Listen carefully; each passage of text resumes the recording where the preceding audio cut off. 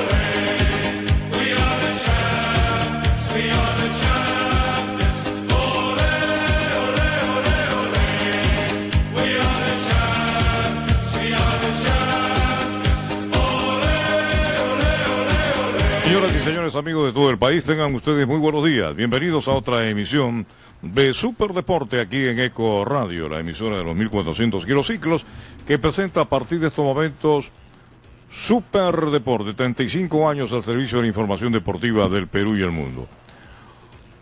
Hoy, como siempre, todos los días, en cadena con Continental, Radio Continental de Arequipa, la emisora de Cana del sur del Perú por supuesto a través de nuestras redes sociales, el Facebook de superdeporte.pe, ecoradio.pe y la web www.ecoradio.pe.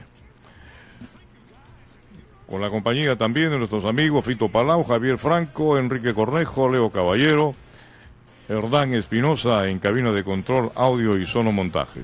Quienes habla Raúl Braví, los invito para que nos acompañen en estos 120 minutos de noticias y comentarios deportivos que hoy día traen cartelera muchas sorpresas. Deportivo Copsol renunció al señor Astellano. Astellano dejó de ser técnico de Deportivo Copsol. Esto lo ha anunciado el presidente de la institución Freddy Ames, que estará con nosotros en unos momentos para ampliarnos esta información. En otro tema también, Troglio dejó universitario. Y ahora estará en búsqueda de quién lo reemplace. Javier Chirino se quedará como entrenador interino de Universitario de Deporte. Que a propósito ayer empató con Sporting Italia en un intenso partido que se jugó en el Estadio Monumental. También seguimos con otras notas. Barcelona de España logró el título de la Liga Española tras vencer por 2 a 0 al Deportivo La Coruña con un hat-trick. ¿Cuánto es? 4-2 al Deportivo La Coruña con un hat-trick de Lionel Messi que sigue haciendo goles y se convierte en el pichiche en estos momentos del fútbol español. Bueno, ya le dije, Universitario se ha quedado sin entrenador, renunció Pedro Troglio. El Deportivo Coxol también se quedó sin entrenador. Ya no es más castellano. Este, en la segunda división se jugó la cuarta fecha y Cienciano, Cienciano fue goleado, uy caramba, goleado por 4 a 0 ante Universidad César Vallejo. Con esto también significó la salida de Checho Ibarra, que ya no es más entrenador de Ciencianos del Cusco. En un momento vamos a dar a conocer todos los entrenadores que han sido cesados en su función en esta parte del campeonato de verano, solamente en primera división. Solamente en primera división, nueve entrenadores han sido cambiados. Bueno, con estas informaciones y otras volvemos en unos minutos aquí en Super Deporte de Eco Radio.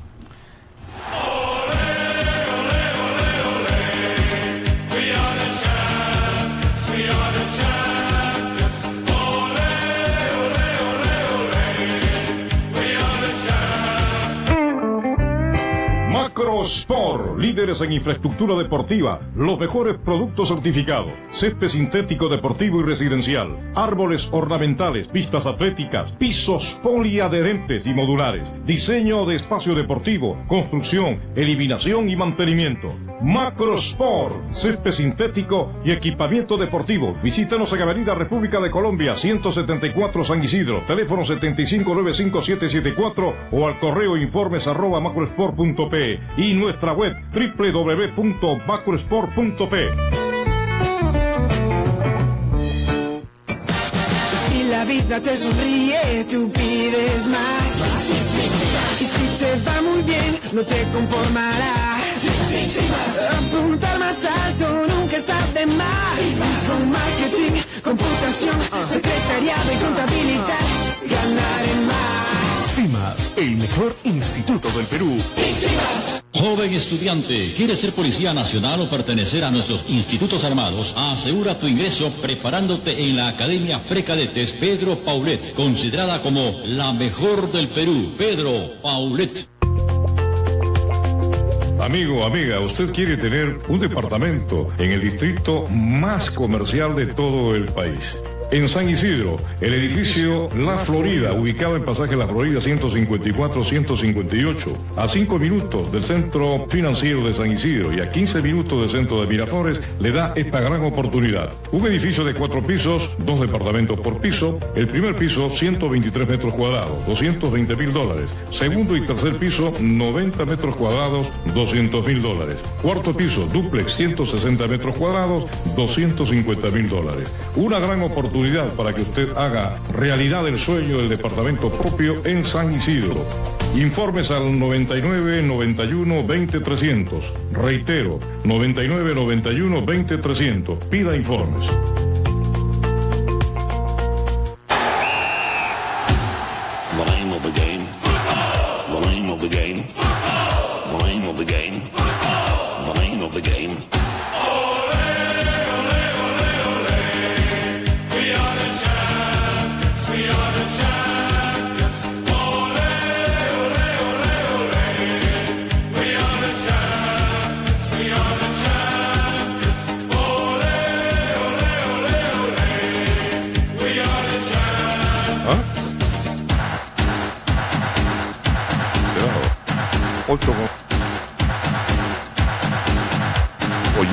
Compañeros de la mesa los siguen en las redes sociales. Ya tenemos nuestro primer invitado.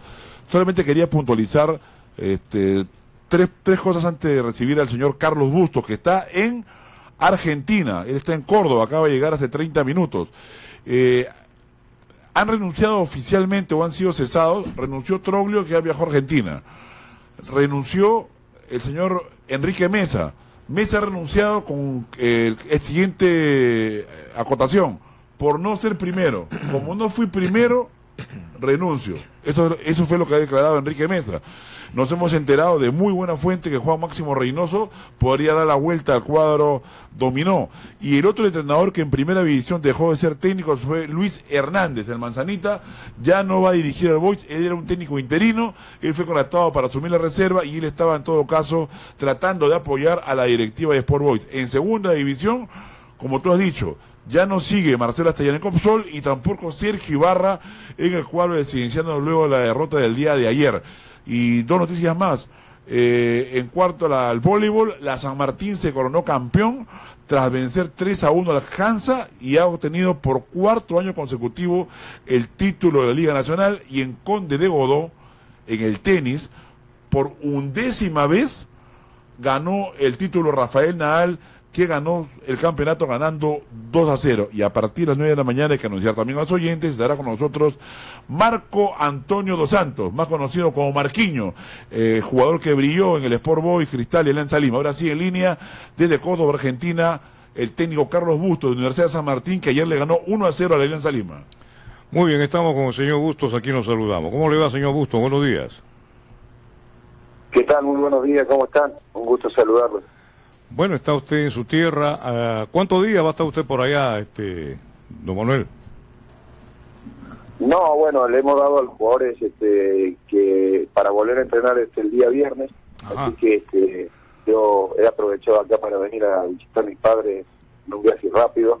Así que estamos por acá, recién me, me agarra, este, recién, recién aterrizo acá en Córdoba. Acaba usted de llegar recién a, a Córdoba, ¿no? Sí, sí. Muy bien. Eh, eh, bueno, usted se ha ido, se va de vacaciones, de vacaciones muy breves, porque eh, vuelve al trabajo el día viernes con el equipo. Buen triunfo conseguido ante Alianza Lima, que, Alianza Lima, bueno, no da pie en bola en este campeonato. Eh, ¿qué, ¿Qué puede usted decir acerca del, del partido? ¿Se le facilitaron las tareas, señor Bustos? No, bueno, iba a ser un partido, fue un partido como, como lo pensamos, duro, ¿no? O sea, Alianza tiene grandes jugadores, si bien le está costando a lo mejor un poco este conseguir los resultados en este en este principio de año, pero indudablemente que este, era un partido difícil para los dos equipos, sobre todo nosotros que también veníamos de muchos partidos sin, sin sumar de a tres, y, y era importante también cerrar bien el torneo. Creo que, que nos da un equilibrio un poquito ahí en los números, no como hubiéramos querido, pero, en definitiva tomando el valor de haber jugado todo este tiempo con muchos jugadores que debutaban y que estaban haciendo su primer partido en primera, creo que terminar ganando este partido nos, ayuda a posicionarnos mejor.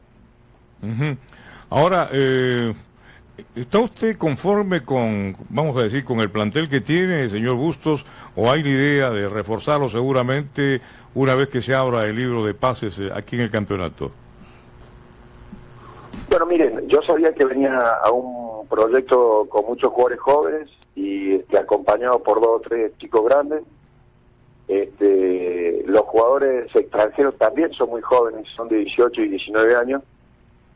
Y, y seguramente cuando esté la posibilidad de que se abra nuevamente el libro de pase, analizaremos bien eh, el poder incorporar a algún jugador o reemplazar a algún jugador si y el rendimiento eh, pensamos de que de que no ha sido satisfactorio y que y que lo podemos mejorar con alguna incorporación pero yo sabía perfectamente que venía un proyecto de esta característica donde lo principal era posicionar jugadores jóvenes con, con futuro eh, tratar de hacer una buena campaña eh, no, no pelear como los últimos años le había tocado a la San Martín en la parte baja y no tener este, la ambición de poder llegar a alguna posibilidad de copa en, en la acumulada, ¿no?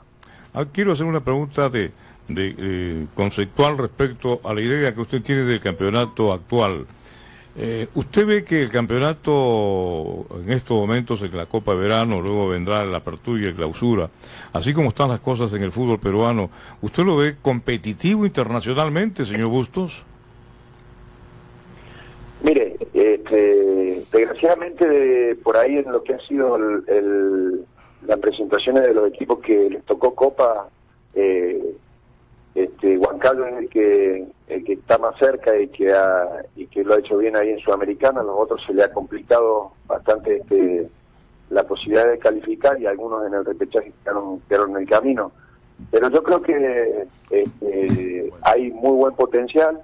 Eh, definitivamente a lo mejor los equipos que participan en Copa deberían tener algunos refuerzos más que lo ayuden a posicionarse y jugar igual igual con estructuras de otros equipos que invierten mucho más. O sea, no solo alcanza con decir entré a Copa Libertadores, sino que después hay que hacer una comparación cuál es la inversión de un club y de otro para jugar esa Copa Libertadores. Yo yo veo este, de repente lo que le toca hoy a Alianza, este, comparado con los otros equipos que juegan en la zona, es imposible este, competir de acuerdo a la inversión que hace uno y otro.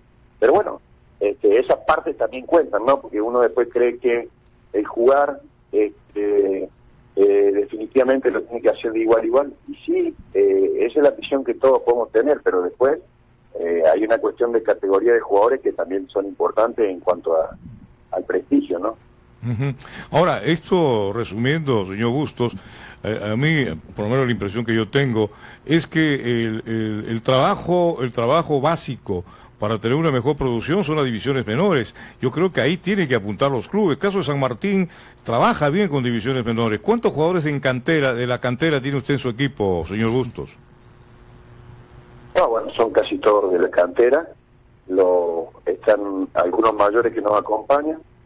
Los, los cinco extranjeros, uno solo tiene 24 años, que es el panameño. Después los otros son todos chicos de 19 y 20 años. y después son todos jugadores del club y algunos que han venido también muy jovencitos de, de Cristal, que nos están ayudando también en la campaña, pero el plantel sí es muy joven, pero de cualquier manera este, los procesos necesitan su tiempo, ¿no? O sea, necesita, nosotros por ejemplo, lo que nos ha pasado este torneo, arrancamos muy bien, después nos costó posicionarnos en algunos partidos, algunos partidos que podríamos haber ganado que, que no los terminamos de cerrar más. Siempre es experiencia y, y así lo, lo estamos viviendo, pero, pero es fundamental también que si uno ve jugadores con potencial, le dé la posibilidad de jugar. Y eso es lo bueno que la San Martín está haciendo, me pareció. Ujú. Ahora, San Martín terminó cuarto en el grupo, el grupo A, ¿no? Tiene 10 19 puntos acumulados, cuatro victorias, siete empates y tres derrotas. Se podría decir que la, la campaña ha sido de regular para arriba, ¿no? Por, la, por, por- por el puntaje que tiene. Este, el partido, oh, bueno, eh, San Martín terminó con, con expulsados, ¿no? Miguel Camargo fue uno de ellos y el otro, el marfileño también, Akeloba, ¿no? Que, que quedó expulsado, dos jugadores que no podrá usted contar en el partido, eh, la apertura, el primer partido de la apertura, ya que juegan como, con UTC eh, aquí en en Lima. Este, de todas maneras, son dos bajas importantes, pero ¿tiene cómo suplirlas, este, señor Bustos? Sí, sí, por supuesto que son dos jugadores importantes que no vamos a tener para esa para la primera fecha de la apertura, pero como lo hemos ido manejando y como lo hemos ido solucionando con el transcurrir de los partidos, este, vamos a buscar la forma para para llegar y hacer un partido con la misión de ganarlo. Este, el, eh, los dos partidos con UTC que nosotros jugamos este año fueron empates, con un plantel que tiene importante y que terminamos cerquita también de ellos eh, va a ser fundamental ese primer partido de la apertura. Entonces, debemos trabajar bien para, para llegar este con los jugadores que estén más aptos para afrontar ese juego. Eh, en todos los en todos los partidos nos han faltado jugadores, ¿eh? o sea, a veces nos han faltado jugadores de, de cristal que no podían jugar contra su equipo, otras veces algunas suspensiones. Bueno, hay cosas que debemos corregir, ¿no? O sea, no me gusta a mí dar dar ventaja con respecto a hoy en día jugar con algún jugador menos de algunos partidos o con algunas expulsiones que se pueden evitar. En ese sentido, también es aprendizaje para nosotros. Me tocó a mí mismo también este, una expulsión que me dejó afuera cuatro partidos. Son cosas que no pueden ocurrir, son cosas que la- las tenemos que manejar mejor, sobre todo teniendo un plantel corto, ¿no? Profesor Bustos, ¿cómo le va? Buenos días. Eh, una consulta solamente de mi parte. ¿Usted cree, profesor, y hemos hablado que el torneo local, eh, a lo mejor, digo yo, por lo menos en mi pensamiento, no pues ajusta a un torneo tan competitivo? Internamente quizás sí, por la paridad de equipos. ¿Usted cree con respecto a eso, y, así, y ahí va a señalar mi pregunta, que el próximo año con 18 equipos y en el 2019 con 20, nos abastecemos bien como para hacer un fútbol competitivo internamente? Mire, yo, yo primero tengo la experiencia solamente del grupo A, ¿no? Porque no nos ha tocado enfrentarnos a, los equipos que vamos a enfrentar ahora en la apertura, que es el grupo B, que es fue mucho más parejo. En el A arrasó Cristal, sacó una experiencia importante. Este, yo quiero tener también la medida de eso porque solamente nos tocó jugar un partido de altura que fue en Rosario. Eh, y, digo, la competitividad se hace también a través de la de las inversiones. Se me hace a mí que el fútbol peruano hoy tiene el apoyo importante de la televisión, pero creo que eh, debería tener más concurrencia en los estadios, debería tener más sponsorización que permitan este, manejar presupuestos más altos. Hay, hay un montón de cosas que vienen aparejadas, no solamente con la calidad futbolística con, o lo que uno puede transmitir dentro de la cancha, hay otras, hay otras cuestiones que para para tener equipos este, de más categoría y que puedan pelear también las copas y que pueda ser este, un torneo eh, mucho más este, estructurado, no solo depende de lo que uno pueda hacer dentro de la cancha, eh, depende de, de muchas inversiones, de muchas apuestas, de muchos proyectos inferiores que puedan surgir jugadores. Eh, entonces, todo eso creo que, que Perú ojalá aproveche el envión de, de la calificación al Mundial, siga apostando por eso, que empresas que son poderosas en el país puedan apoyar a, a los clubes para tener una tranquilidad que les permita este, tener base sólida en, cuanto a cada proyecto, ¿no? Muy bien, señor Bustos. Eh, hemos tenido el gusto de conversar con usted esta mañana. tenga una buena estadía allá en su tierra, en Córdoba, Argentina, y eh, un próximo retorno, ya que el viernes nuevamente tiene que volver a la cancha para dirigir a la gente de San Martín. Muchas gracias, señor Bustos, un abrazo. Un abrazo grande a todos, como siempre, muchísimas gracias por el contacto y estamos a disposición. Muy bien, estuvo el señor Manuel Bustos, director técnico de San Martín, está en estos momentos en Córdoba, su tierra natal, ha ido muy breves vacaciones simplemente porque tiene que retornar el día viernes, está dirigiendo nuevamente al equipo San Martín. Yo quería acotar solamente Raúl y seguro también Javier, Fito tienen opiniones al respecto. Solamente, ya que hemos hablado de San Martín, que ayer le ganó a la Alianza Lía para concluir un poco la idea. Me pareció, Javier, que fue un partido en que la verdad no tuvo tanta exigencia la San Martín. Es por lo menos lo que yo creo. No tuvo rival ahí. Pero lo segundo, la acción de los hinchas. Sí en contra de Alianza Lía, me refiero, en contra del tema Bengochea y menciona mucho a Gustavo Ceballos. No sé, parece que se le han prendido al gerente deportivo. ¿Cómo está Javier? Buenos días. Buenos días, buenos días con todos los amigos oyentes de Super Deportes. Sí, eh, en general en el partido tengo la misma percepción que tú has señalado. Eh, básicamente por el orden que mostró San Martín en el partido. Le ganó por orden, básicamente. O sea, no, bueno, eh, claro, hay muchos otros criterios adicionales, pero mostró bastante orden, Alianza bastante desordenado. Y, eso es lo que primó en el partido, ¿no? Alianza no encuentra un, un criterio coherente de fútbol. Eh, tomamos a Huancayo, Raúl. Eh, Huancayo empató 1 a 1 y quedó primero en la llave B y jugará la final del torneo de verano contra Sporting Cristal. En línea tienes al volante Marcio Valverde. Muy bien, Marcio, ¿cómo está? Buenos días. ¿Aló?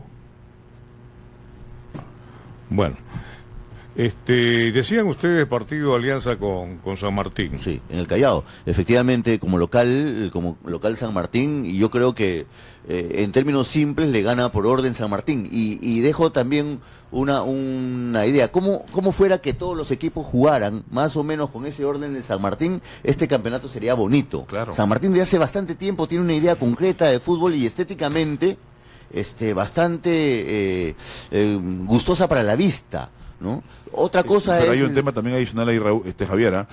Eh, barco, y hay que decir las cosas por su nombre. Creo que el 90%, 90 de los jugadores extranjeros que han contratado no se ha equivocado. Sí, de hecho, ¿no? De hecho, ¿no? De hecho, no, y yo no creo que sea porque simplemente tiene una mente privilegiada a los barcos, sino hay unos criterios básicos que se respetan y eso se cumple a lo largo de, su historial como gerente deportivo, ¿no? Eh, entonces, yo digo, Claro, el San, Martín de repente no tiene la presión que tienen equipos como Alianza Lima, como Universitario, como Sporting Cristal, pero ojalá todos pudieran jugar con esos criterios básicos del equipo de San Martín. Bueno, ahí tenemos en línea así a Marcio Valverde, volante del equipo huancaíno, que ha terminado primero en su, en su serie y va a disputar el título de verano con, con Sporting Cristal. Marcio, ¿cómo le va? ¿Qué tal? Buenos días, un gusto escuchar. Bien, Marcio, para ustedes, este campeonato, ¿qué significa? Eh, haber alcanzado el primer lugar, pero obviamente todavía está eh, próxima la disputa de, del ser campeón de la Copa Verano. ¿Cuál es el, vamos a decir, el, la autocrítica que puede hacer Marcio Valverde de Sport Huancayo? Eh, yo creo que ha sido un torneo muy duro ¿no? en nuestro grupo. Ha sido muy peleado, se ha visto reflejado que hasta la última fecha se peleó por quién iba a la final. Eh, nosotros hicimos un gran esfuerzo en todo el torneo porque hemos sido invictos en de, locales, no hemos perdido ni un partido y de visita hemos recortado puntos muy importantes que creo que nos puso que nos puso en la final y que hizo que el último partido dependíamos de dos resultados para poder para poder clasificar y fue así. Eh, ahora, bueno, obviamente tienen que ganar Sporting Cristal para consagrarse campeones del torneo verano. ¿Algo le está faltando a Huancayo, Marcio? ¿Usted cómo lo ve dentro del campo? ¿Usted cree que el equipo, así como está, pueda seguir dando la talla ahora en la apertura que se va a iniciar eh, ya eh, luego? Eh, siempre hay cosas que, que hay que corregir, ¿no? Este, todavía queda un torneo, un torneo largo de de 30 fechas y esperemos que nos vaya bien, pero ahora enfrentamos a un equipo que es, complicado, que sacó mucha ventaja en su grupo es un, es un equipo que está acostumbrado a jugar este tipo de partidos.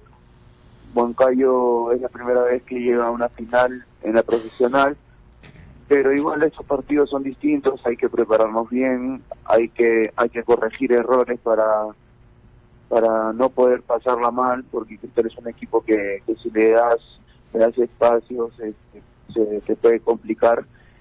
Así que hay que prepararse bien nada más, eh, estar bien, estamos, estamos fuertes como grupo, que es lo más importante, y esperemos llegar bien al partido para, para poder sacar provecho del primer partido que jugamos aquí. Eh, mire, Valverde, ¿cómo recibieron ustedes la, la actitud esa del jugador eh, colombiano Monsalvo que agredió al señor Groñi, el entrenador de ustedes, y que finalmente determinó, la directiva optó por sacarlo del equipo, expulsarlo a Monsalvo. ¿Resintió en algo la estructura, vamos a decir, eh, eh, dentro del equipo, en el pensamiento de todos ustedes, una actitud como esta? Eh, bueno, yo- es una actitud que yo no, no comparto en realidad, no nunca había vivido este tipo de cosas, pero pero ya el, el tema pasó ya por un tema más dirigencial, nosotros los jugadores ya no, no decidimos esas cosas. Eh, felizmente que, como yo dije en su momento, el, eh, la acción, lo que pasó no afectó al grupo y el grupo siguió firme, eh, siguió bien y se vio demostrado porque eh, clasificamos a la final, que era lo más importante, y creo que si hubiera afectado esto, no, no, no estuviéramos hablando ahorita de una final. Lo que quiere decir entonces que el grupo está consolidado, anda fuerte y esperan con muchas expectativas el encuentro frente a Sport Cristal que podría coronar a campeón de- de- de- del torneo de verano a Sport Huancayo. Una última, este Marcio, ¿el público le responde a ustedes, los acompaña en los partidos? ¿Cómo, cómo sienten ustedes la actitud del público? Eh, bien, en realidad está yendo bastante gente al estadio. El, el último partido fue, fue muchísima gente.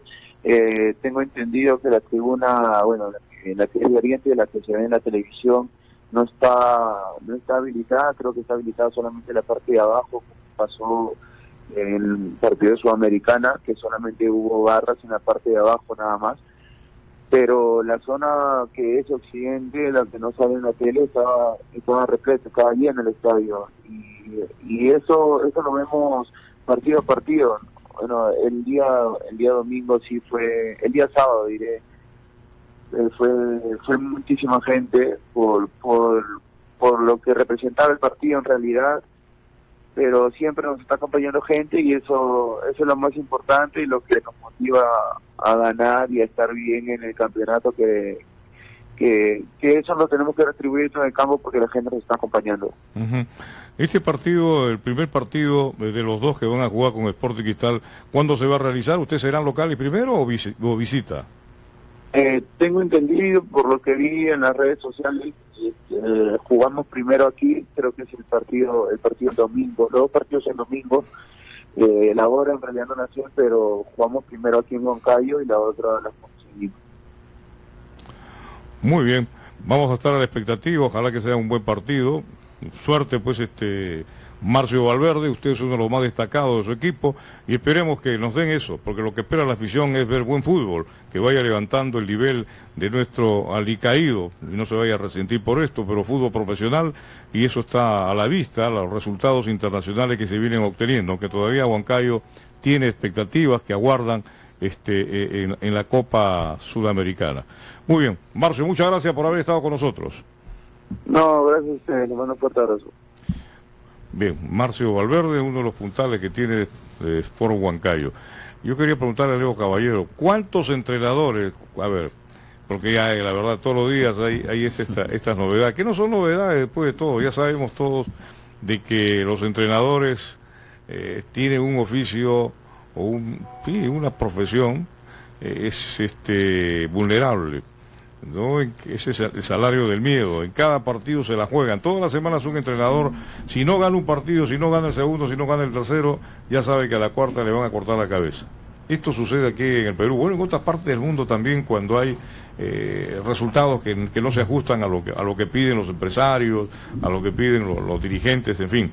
Hay muchas cosas por analizar. Aparentemente muchos dirán, claro, los resultados no se dieron, pues el entrenador se tiene que ir.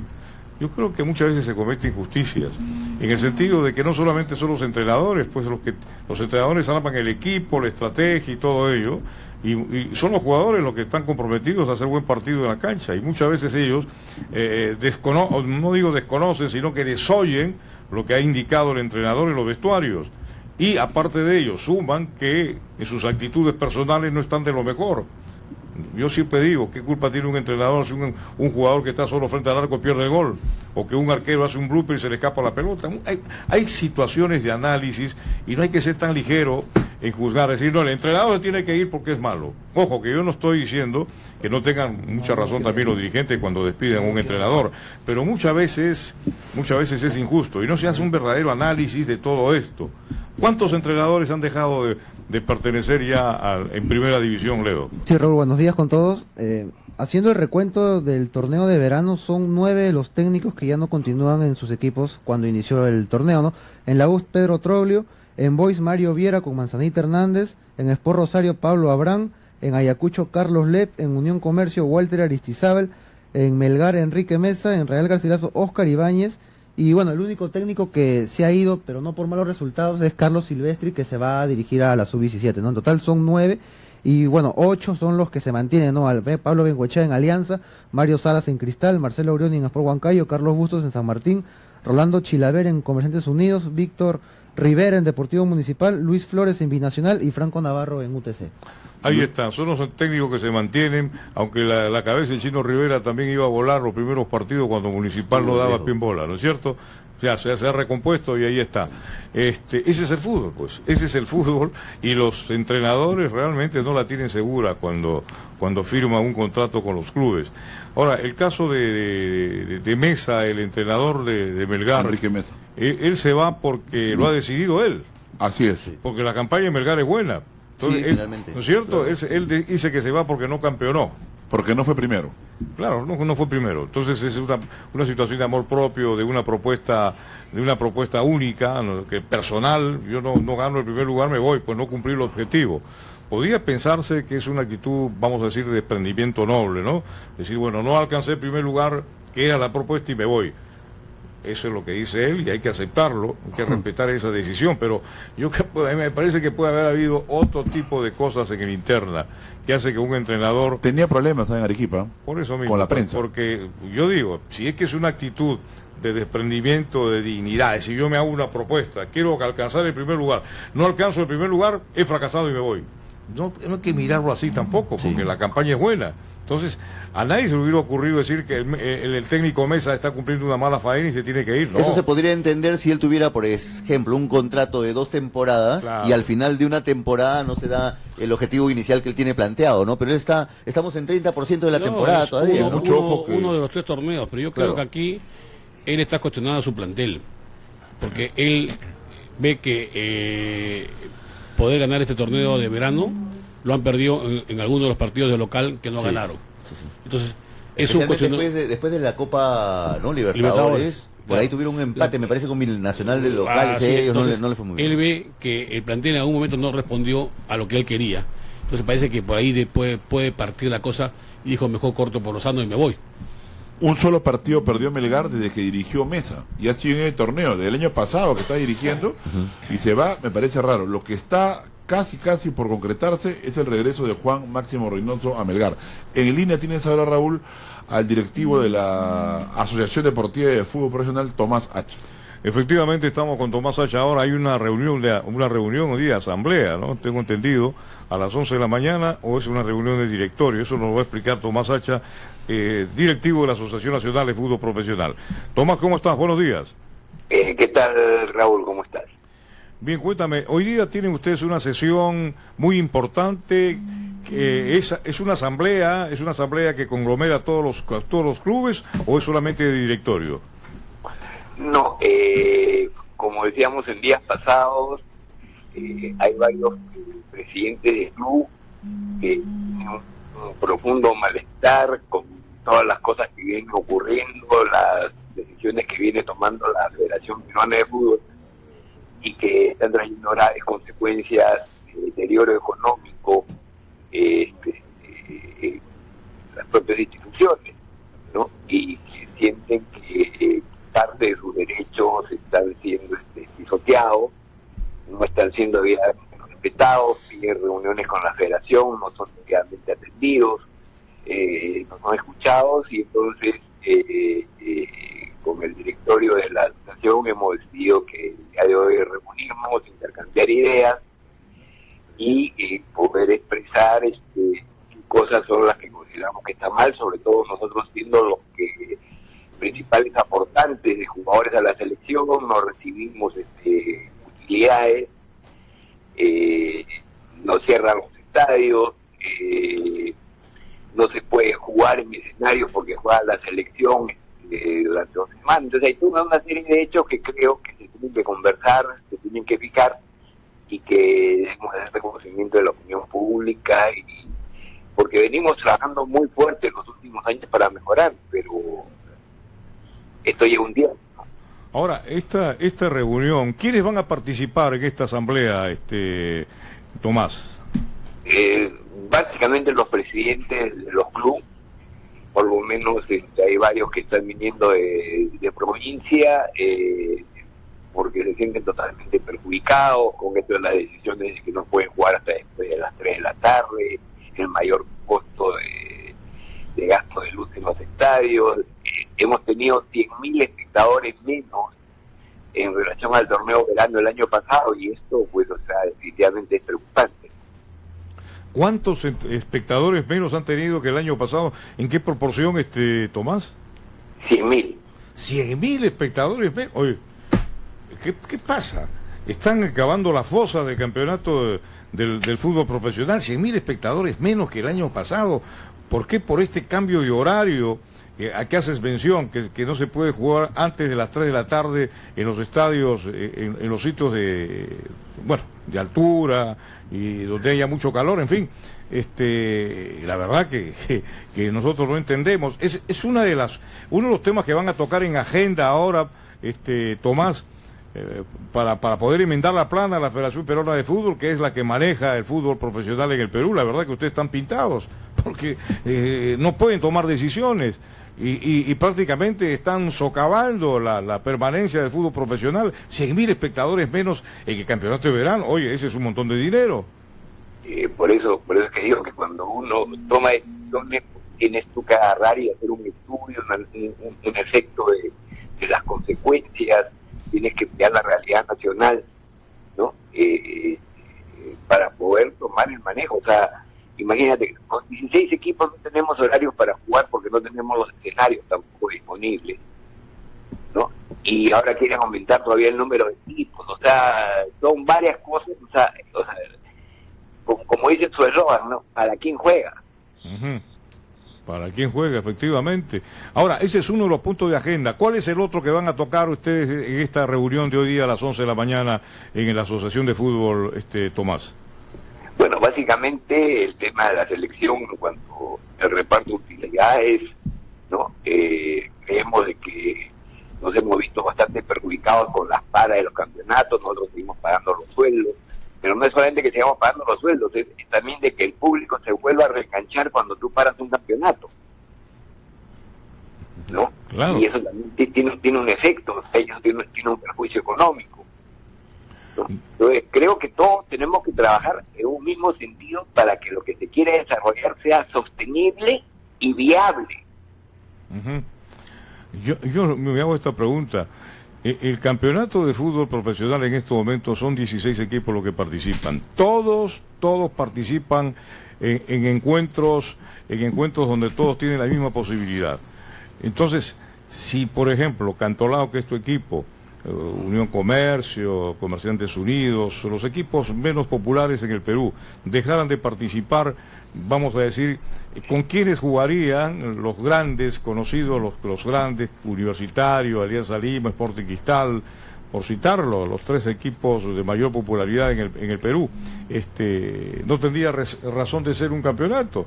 Entonces, lo que yo me quiero referir es que cuando se habla de la, de la, vamos a decir, del beneficio que tienen que tener los clubes con la, con la, con la asistencia económica que recauda la Federación Peruana de Fútbol, porque ustedes son los que proveen los jugadores a la selección de fútbol. Son ustedes los que trabajan con los jugadores y los provee y, y los, y, lo- y- la Federación los selecciona. Consecuentemente tiene que haber un, vamos a decir, no un premio, sino una, una, una respuesta económica también a, lo que hacen ustedes como clubes. Y, y ese dinero no es compe- no compensa los, lo- lo- los esfuerzos que hace cada uno de ustedes, muchas veces perjudicados en, que se tiene que paralizar el campeonato, y equipos como los Mache, los llamados chicos, no tienen otra manera como resarcirse económicamente. Entonces, a mí me parece que aquí no se está actuando equitativamente como para darle el justiprecio, por decirlo de una manera, a los clubes, que todos tengan una misma participación, porque todos hacen el campeonato profesional. Es correcto, este Raúl, o sea, y parte también es el tema del reglamento de licencias. Que el reglamento de licencias es internacional, que parte con conceptos europeos. Nadie está en contra. Los primeros que comenzaron a ordenarse financieramente, el, pri- el primer organismo de control financiero lo hicieron los propios clubes, ¿ok? Pero lo que se necesita es hacer un plan de desarrollo viable, que pueda ser implementado correctamente, que pueda ser cumplido, que tenga resultados positivos. Y para eso tenemos que sentarnos las partes.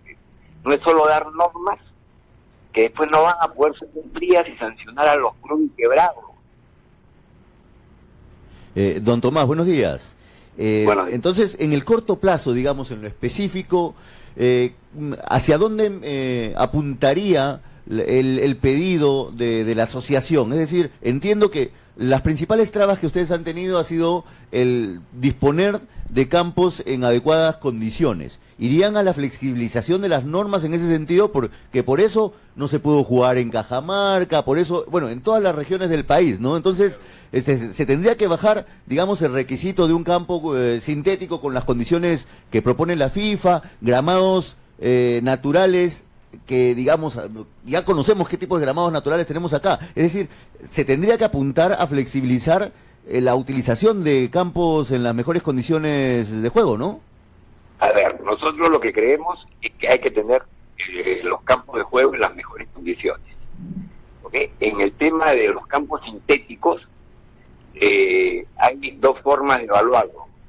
Que cumplan las condiciones de, de- de- similares a la césped natural y los tienen certificación FIFA para jugar torneos internacionales. En el caso, por ejemplo, de Mira, el, el, el Club de Cutervo ya ha hecho todas las mejoras que le es factible dentro de la ley nacional. ¿Y por qué digo dentro de la ley nacional? Porque ese estadio se le puso hace tres años el, el césped sintético. Y por la ley de contrataciones del Estado, durante siete años no pueden tocarlo. ¿Ok? Entonces están en un imposible jurídico, no pueden cambiar las condiciones de ese campo. que Vamos a sacar al equipo de Cutervo cuatro años más fuera de Cutervo. O sea, lo estamos quebrando. ¿Para qué invierten menores? Le vas a pedir exigencias menores cuando sus menores están en Cutervo y él tiene que jugar en otro sitio. Eh, Tomás, buenos días, está la Fito Palau. Y yo creo que, yo creo que Tomás, no, no sé, ¿tú, tú sabes, tú conoces a, a los integrantes de la comisión de, de concesión de licencias y al gerente? Sí. Eh, ¿Sabes si alguno de ellos alguna vez fue dirigente deportivo de algún club profesional? No, no han sido dirigentes. Ya, entonces que eh, eh, el burro, el burro que sabe alfajores, pues que cómo, cómo pueden venir a, a, a- a tratar a tratar de regular a los clubes de fútbol si nunca los han manejado, pues ahí está el gran problema. No, y tú no puedes pretender de que el fútbol peruano, porque yo doy una norma, voy a convertirlo en la Bundesliga en dos años. Claro, el, el papel aguanta todo. Por ley no se puede hacer la- solamente las cosas. Tiene que estar sustentado para poder dar una ley. Exacto, mira, con los hechos que han sucedido ayer, por ejemplo, se puso el partido de la U y Cristal. ¿Ok? Tú sabes la campaña que hizo Inglaterra, ¿ok? La campaña que hicieron en España. Hay unas campañas que se llamaron de respeto. Propio Estado, ¿dónde comienza el problema de la violencia? Con los padres de familia en los colegios. Mira cuando juega un partido de fulbito los niños de 5 o 6 años que están jugando y mira, y mira el comportamiento que tienen los padres de familia. Por supuesto. Si ahí no comenzamos a hacer la campaña de corrección de la violencia, ¿de qué estamos hablando? Entonces, el compromiso es sentarnos, ver las partes, ver lo que hay que atacar e ir implementando medidas que nos lleven a un proyecto de desarrollo viable y sostenible. No simplemente dar normas porque a mí se me ocurren y porque son buenas, sí, pues. Yo también quiero tener un Mercedes-Benz. Claro. pero pero aquí esos señores de la Comisión de Concesión de Licencia, y no es porque sea hincha de la U, fanático de la U, socio de la U, pero es antojadiza la sanción que le han puesto a la U. Es antojadiza también en alguna medida lo que pasa con, con, con Cuterbo. Hay, eh, si bien es cierto, eh, eh, yo estoy de acuerdo que en algunos sitios del Perú, por más que el equipo que haya ganado la, el derecho a jugar en primera no puede jugar en esa ciudad porque no reúne los requisitos para que el traslado de los equipos, ¿no?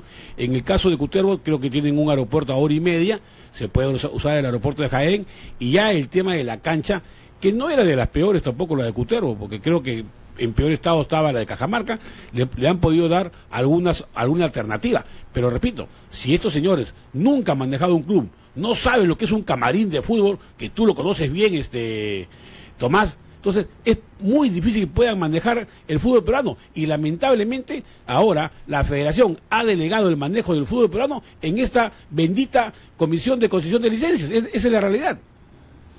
No, o sea, hoy día tenemos funcionarios que creen que el éxito de Gareca es el éxito de ellos. o sea, eh, ningún, ningún, proyecto de menores que han iniciado ellos ha sido el que ha llevado a que Perú vaya al Mundial. O sea, nos gusta o no, tenemos que reconocer que son jugadores que son parte del semillero que viene del anterior directorio. ¿no? Eh, para ser correctos, nos gusta o no. Pero que hay que trabajar sí, que está muy bien de que hay un proyecto de menores, o sea, que lo que se quiere hacer de encaminar, de reordenar, perfecto. Todos estamos para colaborar, todos estamos en la misma línea.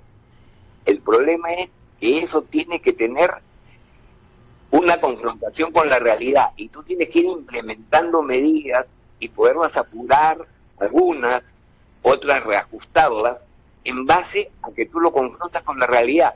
Lo dice el propio reglamento de licencias en el proyecto de, implementación que, ha dado la FIFA. ¿Okay? Ahora, si vamos al tema de las deudas, eh, cito, los inventores, UEFA, ¿ok? le da plazo a los clubes, 10 años me va disminuyendo tu deuda. Acá no, acá nos han dicho, tú te vas a hacer y yo te sigo multando, sancionando. O sea, ni los europeos con toda su fortaleza se dan plazos. te, dan, para que pagues en parte, para que vaya disminuyendo la deuda poco a poco. Los propios europeos, acá los, los que copian, como no leen todo, ¿ok? Entonces este, ahí tenemos los eh, problemas. Tomás, en, Europa, en España específicamente, sancionaron a algunos clubes que tuvieron problemas, alguna irregularidad en contratos de menores a eso sí, porque su, su falta fue en contratos, a eso le prohibieron contratar, pero no por otro tipo de faltas. Lo que tú dices es, es, es correcto. Ellos deben de leer, es como acá en el Perú, cuando la SUNAT aprieta al contribuyente, en vez de cobrar a la SUNAT, al final lo va a matar al contribuyente y la SUNAT no va a cobrar nada. Entonces, ¿cuál es la finalidad? La finalidad de la SUNAT del Estado es cobrar. En otros países veo que los entes recaudadores de impuestos no son como acá prefieren darle una facilidad al contribuyente para que pueda pagar que matarlo. Entonces, aquí lo que están haciendo es, a menos que haya alguna conjura, por ejemplo, de tratar de eliminar algunos clubes o mandarlos a segunda, ¿no? Pero si ahorita la segunda también este, la van a desaparecer, si le han quitado este, la, posibilidad de tener recursos televisivos que es el sustento, ¿no? Eh, salvo, salvo que crean que va a venir, pues, este, eh, una gran cadena que va a pagar este, 80 millones de dólares este, todo el campeonato del fútbol peruano y, va a pagar las penalidades, a romper los contratos existentes. O sea, acá estamos viendo al desorden, ¿ok? En base a caprichos de gente que nunca, nunca eh, ha quitado y que lo máximo que creo que ha ido es al estadio a alentar a sus equipos. Y eso. Tomás Sacha, ¿cómo te va? Buenos días. ¿Qué es, Enrique? Eh, solamente, no sé si ustedes tienen agenda, eh, el tema también de lo que pasa en la Federación de Fútbol, porque Nadie está acusando obviamente al señor Oviedo, pero evidentemente hay un tema de silencio en la federación, en el directorio, con respecto obviamente a la posición que tiene que tomar Edwin Oviedo o el mismo directorio. Eh, ¿Van a agendar esto? ¿Van a conversar acerca del tema también? ¿Qué nos puede decir al respecto? Eh, entiendo que algunos presidentes tienen este, la, la inquietud y como en alguna conversación anterior hemos tenido, eh, en la reunión de hoy día eh, seguramente nos pronunciaremos. ¿no? O sea, lo que es cierto es que el señor Oviedo es inocente mientras que no se pruebe lo contrario, pero sí es preocupante eh, los temas sobre los cuales se, se acusa de un comportamiento incorrecto. Bien, Tomás, la reunión de ustedes es a las 11 de la mañana. ¿Van a dar una conferencia de prensa hoy día, este, luego de la, de la reunión de que va a tener todos los presidentes de, la eh, de los clubes en la Asociación de Fútbol?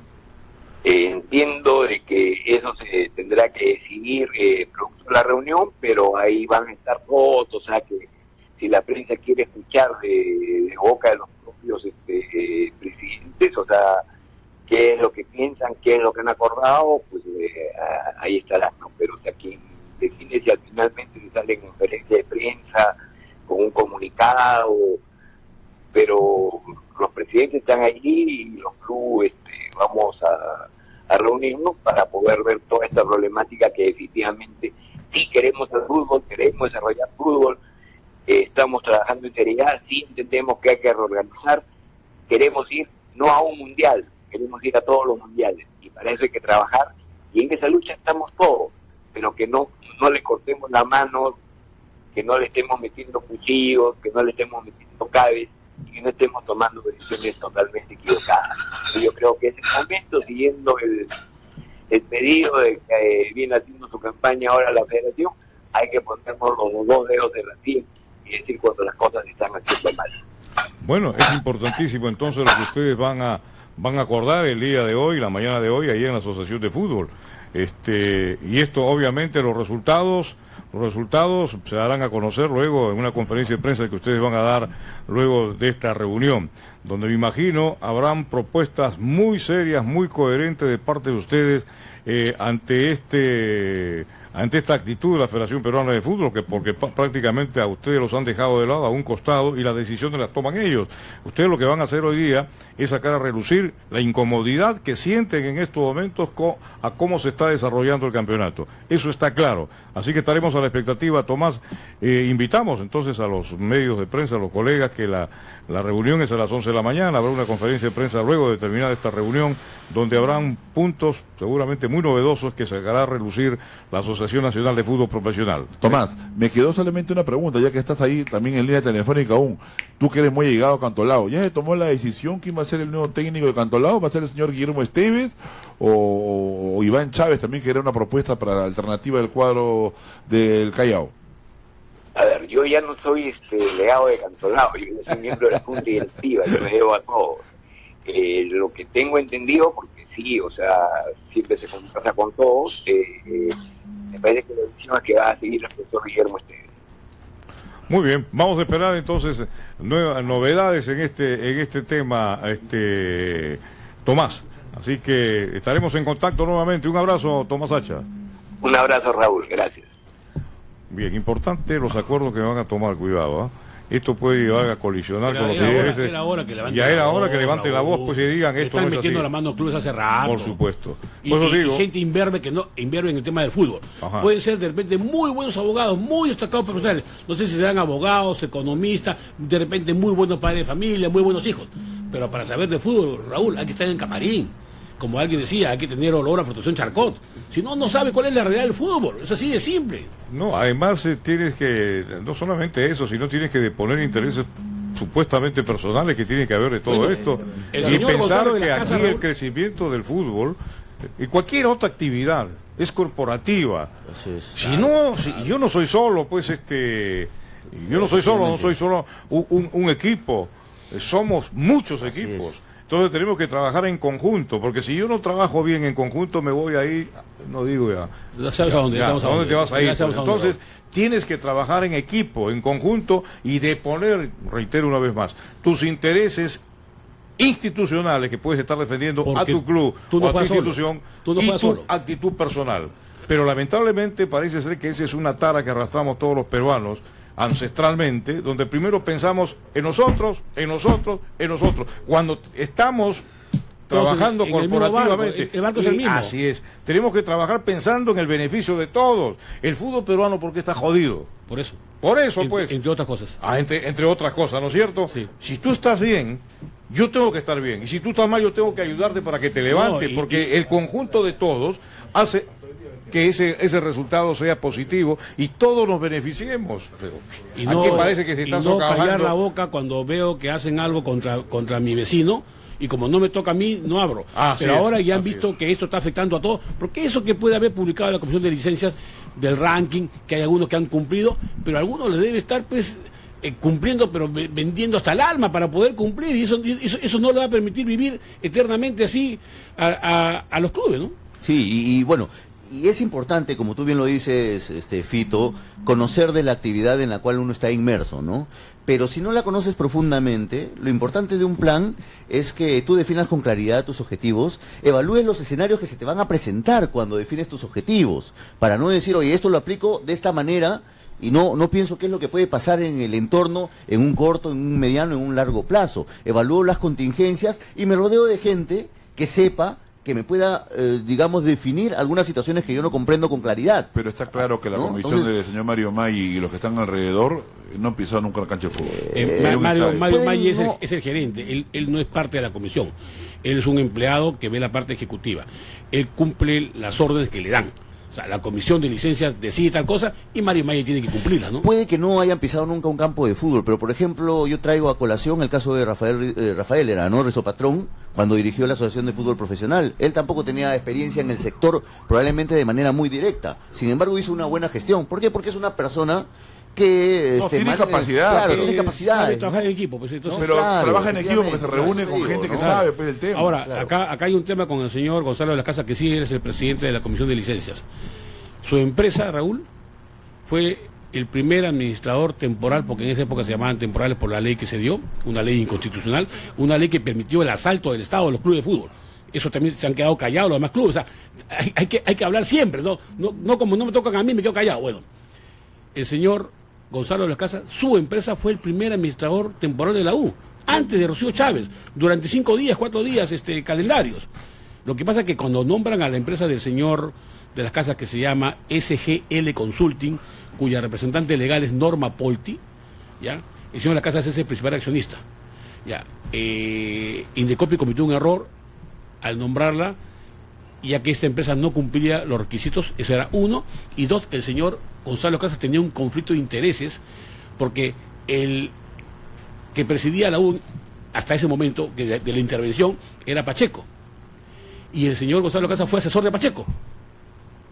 Entonces, hay un, y, y más, el video lo tengo yo, yo, yo lo grabé, en la casa de, de- de Pacheco, este, cantando canciones de la U Gonzalo Casas con Pacheco. Entonces, este, entonces, evidentemente es un conflicto de interés, Raúl, pues, ¿cómo va a entre- eh, administrar a- al, al intervenido quien, fue mi asesorado en un momento? Es, es evidente que era incompatible. Ya, eso se divulgó, eso me lo pidió incluso Raúl Leguía, me pidió el video, sé que tanto habla Raúl Leguía, él me pidió el video, yo se lo di y lo pasaron en Canal Aunque, 13. aunque te digo una cosa, en una reunión social el hecho que hayan estado juntos, No, no, hayan cantado. no es que sea la reunión social, Raúl, es el tema de que él era asesor de Pacheco y Pacheco era el intervenido. Entonces, ¿cómo eso no, no, no puede ser? Pues? Bueno, es eh, la- las reuniones se pueden producir aún estando La reunión es aún, el tema- aún estando casualmente puede haber una persona que tú estés en vamos a decir que esté en contra por, por Eh, ideas, eh, por ese es el tema anecdótico. Pero, el señor de la casa fue no, presentado como no, asesor. No, no, no, dice el señor de la que casa haya fue- habido unas componentes y nada por el no, estilo. eh, ¿no? no, es que Raúl, es que no es componente, es un conflicto de interés, es una incompatibilidad. El señor de la casa fue, fue presentado por Pacheco como su asesor en temas concursales. Entonces, ¿cómo después la empresa del asesor va a ser la que va a intervenir al asesorado? Eso no puede ser, o sea, ¿te das cuenta? Entonces, por eso que duró cinco días, la, la- la norma Polti no llegó a sentarse en el, en el, en el, en el manejo de la que estuvo después dirigiendo, estuvo como El administrador el Ciciano- Cusco, sí, del Cusco, Ciciano sí. de Cusco. Entonces, parecería que el señor de las casas la tuviera contra la U. ¿no? Da, da- da la impresión, pues me sacaron de la U, ahora voy a, voy a, no. Entonces, esta sanción de no poder contratar es antojadiza, porque le nacen los forros al señor de las casas. Esa es la realidad. ¿ya? El señor La Casa mejor es que vea el tema de su estudio que estuvo involucrado en un tema de Odebrecht. Ahora hay una, hay una situación, sin tratar de justificar al 100% esto de la licencia, pero se tenían que dar. Sí, se, se tenían tenía que que dar, porque había un abuso desmedido e incumplimiento, se zurraban en todo también. No, pues. también es Entonces cierto. me parece a mí que eso, ahora, puede haber habido, habido tema- excesos, no sé, lo del tema que tú dices, por universitario, que clavaron pues la suspensión de un ¿Dónde año. está, tipo- ¿Dónde está estipulado eso? pero digo, pues, lo, lo han castigado. A mí me parece que de repente hubo una, un exceso en ese sentido. El ¿no? tema aquí- Le han cortado los brazos, pero con las piernas, mejor dicho, porque es un equipo de fútbol. Le han cortado las piernas porque no pueden, no pueden hacer nada mientras estén sancionados y ahí están los resultados que se están dando. A pesar de todo ello, a pesar de todo ello, como siempre se, se- se suele decir y se escucha la palabra del Puma, ¿no? La U es la U. Claro. Ayer, ayer realmente hay una demostración de que tiene jerarquía a Sí, nivel local, la- indudablemente la pesa, ¿no? pesa, pues este, la U, a- aún teniendo eh, teóricamente un equipo de inferior condición que Sporting Cristal, ¿no es cierto? Sin embargo, le dio batalla y pudo haber ganado el partido, pudo haber ganado el partido. Lo que ocurre también que anteriormente en el otro partido que jugaron el primero frente a Sporting Cristal, igualmente, igualmente la U debió Al- ganar ese partido. único equipo que Cristal no le ha ganado es a la U. No, Eh, y, por eso te digo, entonces ahí tienes, ahí marca la diferencia cuando un equipo tiene, pues, a nivel local estoy hablando, tiene jerarquía, ¿no? Y pesa, pues, no, no, no, no es una perita en dulce como muchos pensaban. Ayer la U debió, debió ganar el partido, ya lo tenía ganado. Pero en fin, luego lo vamos a El- referir a ese rol. El problema de las licencias acá, Perú, eh, Perú, eh, digo Raúl, está eh, en el uso de las instalaciones deportivas que no son propiedad de los clubes. Por supuesto, Solamente no dos son propietarios de los clubes realmente, que es Alianza Lima, o de, de sus estadios quiero decir, y, y Universitario a Medias, del, del Estadio Monumental. Los demás no son propietarios de los clubes, entonces no pueden acumular los requisitos que exigen las licencias para el uso de esos escenarios. ¿Por qué se porque dependen eso, de un pues? segundo o un tercero. Esa es la parte que yo creo que se tienen que sentar a conversar los miembros de la asociación con la federación. Que este conflicto no llegue a mayores. Creo que todavía no es un conflicto, pero da la sensación que va a llegar No, a eso. que podría ser, si ¿no? los dos presidentes coreanos se han juntado, con mucha mayor razón acá se pueden juntar sin problemas. Yo me pregunto ahora, es otro tema que seguramente lo van a abordar este, hoy día en esta reunión la, la asociación. Y por otro lado, creo que es bueno que se sienta la voz de la asociación de fútbol. Estaban relegados, hoy día se tienen, ellos tienen que decir esto es así, esto es así, y nosotros no podemos admitir que se siga manejando el fútbol como lo está haciendo la federación. Tiene todo el derecho de hacerlo la asociación de fútbol, porque son los clubes profesionales son eh, los clubes profesionales en el Perú son el primer orden del fútbol, el primer orden Pero del no fútbol. alzaron la voz en su momento, Raúl, por eso que llegaron a esta Por eso, situación. que, claro, no alzaron su voz, ahora la van a hacer. Y tienen todo Por el lo, que, derecho de por hacerlo. lo que tú has dicho, Raúl, nunca han estado unidos. Nunca Y yo veo que a mis vecinos lo están matando, cometen una injusticia contra mis pero no levanto la voz porque no me tocan Así a mí. es, así es. No, entonces, ahora que ya me han tocado a la mayoría y esos que están cumpliendo, a, a duras penas están cumpliendo las exigencias, no estamos contra el ordenamiento del fútbol, no estamos contra que paguen todo lo que deben de pagar. Lo que estamos es contra el abuso y contra cosas incoherentes, ¿no? Eh, el tema del, bueno, repito, el tema de sancionar con impedir contratar a, a- a un equipo no está contemplado, es antojadizo. El tema del, del Cutervo, ¿no? Tenía que haber tenido una solución racional. Ellos tienen un impedimento. Y aparte, ellos no, ellos no están jugando desde ahora, ellos están jugando desde antes. Aquí yo veo. No le aquí- pueden cambiar la regla de juego de la noche a la mañana, tienen que darle un plazo para que se adecue. Yo veo que es un tema está mm, muy muy puntualizado. La Federación se está manejando como un gobierno fascista. Pero no la maneja Oviedo. Bueno, Es un mascarón de pro Oviedo. Así es. Lo han dejado de lado la Asociación de Fútbol, que recién se han dado cuenta ellos, que tienen todo el derecho a levantar la voz, decirle, bueno, ¿qué está pasando con el fútbol? Porque finalmente, finalmente, es, la última palabra la tiene la Federación de Fútbol. Ellos están haciendo lo que están haciendo. Le han quitado la, la- la- la potestad de tener una comisión de justicia de la, de la asociación, ahora la tiene única y exclusivamente la Federación de Fútbol. El, el organigrama y todo eso lo propone la Federación de Fútbol. Entonces nosotros nos preguntamos, ¿qué pinta la asociación? ¿Qué Es pinta si ellos que- son los que aportan? Ellos son los aportantes, los proveedores de los jugadores que- que van a integrar la selección nacional de todas las categorías. Son los clubes. ¿Cómo los clubes lo vas a relegar? Ahora, Entiendo de que no estuvo también muy bien organizada en, en- en- en temas eh, este, muy, muy exactos la Asociación de Fútbol. Errores, por supuesto, han cometido. Pero creo que la federación es cierto. El campeonato es, es la autoridad, Ya, la pero- entidad que representa al fútbol peruano. Pero ellos tienen que conversar. No lo pueden relegar a un segundo plano, dialogar con ellos y proponer previo acuerdo. Yo creo que tiene que haber un consenso, porque de esta manera estar divididos, lo único que va a traer como consecuencia que el fútbol, lejos de crecer, Es, se vaya eh, deteriorando. acá en el Perú es uno de los pocos países donde existe una federación y un ente paralelo que maneja el torneo eh, profesional. Pero nosotros hemos estado en la AFA, Raúl. La AFA es de los clubes. Claro. No de un cogollo como maneja la Viena. Los clubes pueden ir a la Viena cuando quieren. No, porque no es de ellos. Entonces, ahí está el tema. Yo quisiera saber qué diablos podría hacer la Federación Peruana de Fútbol sin los clubes. Qué buena A ver, pregunta. ¿Qué pueden hacer esos miserables que dan en la Viena sin los clubes? Nada. Entonces, es cuestión que los clubes se pongan los pantalones y no se dejen pisar. El fútbol peruano debe manejarlo a los clubes profesionales como se maneja en todo el mundo. Y aquí, lamentablemente, estamos bajo, bajo la tiranía durante muchos años de las departamentales, que con el debido respeto, ellos no están capacitados para manejar el fútbol profesional. Esto es fútbol profesional, esto no es fútbol amateur. Además, no, aparte que también eh, el fútbol amateur tiene su lugar, obviamente. Tiene su lugar y su propio espacio. Se trata de que se tiene su espacio, pero el representativo, el fútbol representativo es el fútbol profesional. Eso es definitivo. No es el, es. el fútbol amateur, no es el fútbol de Copa Perú, no, es el torneo de primera división profesional. Y si quieren de segunda división porque son Ya, profesionales. pero en la Viena, los clubes son la última rueda del coche. Los tratan como la punta del zapato. Oye, pero de momento que, de momento que le han quitado autoridad está clarísimo. pues. Y, y en una y en alguna medida razón, no digo que esté bien, pero en alguna medida es porque ellos lo han permitido. Por supuesto que ellos lo han permitido. ¿Y por qué lo han permitido? Porque han estado divididos. Porque están divididos y porque a algunos les es. convenía, como a mí no me tocan, no, no, no- Eh, me- lo que me- tú me- dices me- es cierto. Me quedo, me quedo callado, Me quedo callado. pero ahora que ven que cuando el barco se hunda, se van a hundir a los que le estaba conviniendo y se van a hundir a los que no le convenía, porque se hunden todos. Ese es el tema. El barco se hunde con todos, no con algunos. El Claro. Titanic se hundió con todos. Con- por Eh, supuesto que se viene, es. se viene a pique, se viene con todos. Con todos. Eso es, eso es claro. Antes de ir a la pausa, Raúl, solamente como noticia, estamos tratando de contactar con el Ejalder Godos, el colega ¿Qué ha periodista. pasado con el negro? Bueno, No ayer no lo dejaron entrar, ingresar no al estadio monumental. estadio ayer. No lo ¿Y dejaron no lo entrar. dejaron entrar a Él, Alejandro? él ha dado algunas opiniones de él, muy propias de él, pero eso no es motivo para una actitud de esta naturaleza de impedirle el ingreso a un periodista que va a narrar un partido. El Haller es un, un locutor de larga data, Raúl, uno puede estar de acuerdo con él o no de acuerdo con él, pero impedirle que vaya a, a narrar el partido me parece un, un exceso. Es un exceso que no lo podemos tolerar. Creo que al final lo dejaron entrar, no sé cómo, pero, pero, pero es un atropello. ¿no? Por supuesto. Todos Además, modos, hay, hay que comunicarnos con el Haller porque justamente lo que estamos diciendo, ¿no? Justamente estamos diciendo, no porque no nos haya tocado a nosotros, no nos haya callados, no, eso no es así. Nos toca a nosotros, no, no nos toca a nosotros, tenemos que decirlo. qué bonita familia esta. ¿eh?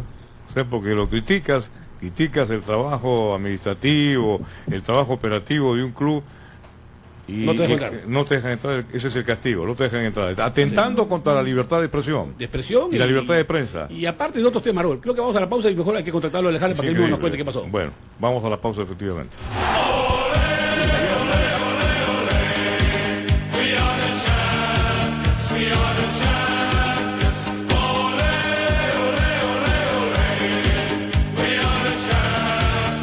Día te levantas para lograr tus metas, para construir tu futuro, para ser exitoso. En la Universidad A las Peruanas te formamos para que logres todos tus objetivos con moderna infraestructura, docentes de primer nivel y clases teórico-prácticas en las que das desde el inicio tu profesión. Vive tu profesión, vive tu vocación, vívela en la UAP. Infórmate en uap.edu.p.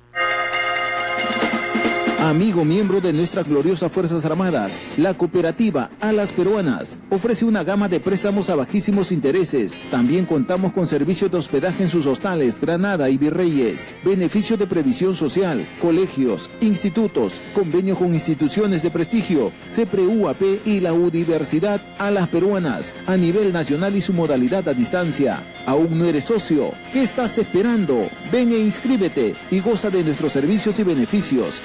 Visítanos, Girón Pachacútec 2052 Jesús María, a media cuadra de la esquina Salaverry San Felipe y en provincias con nuestros delegados a nivel nacional. Visita nuestra página web www.alaspe.pe.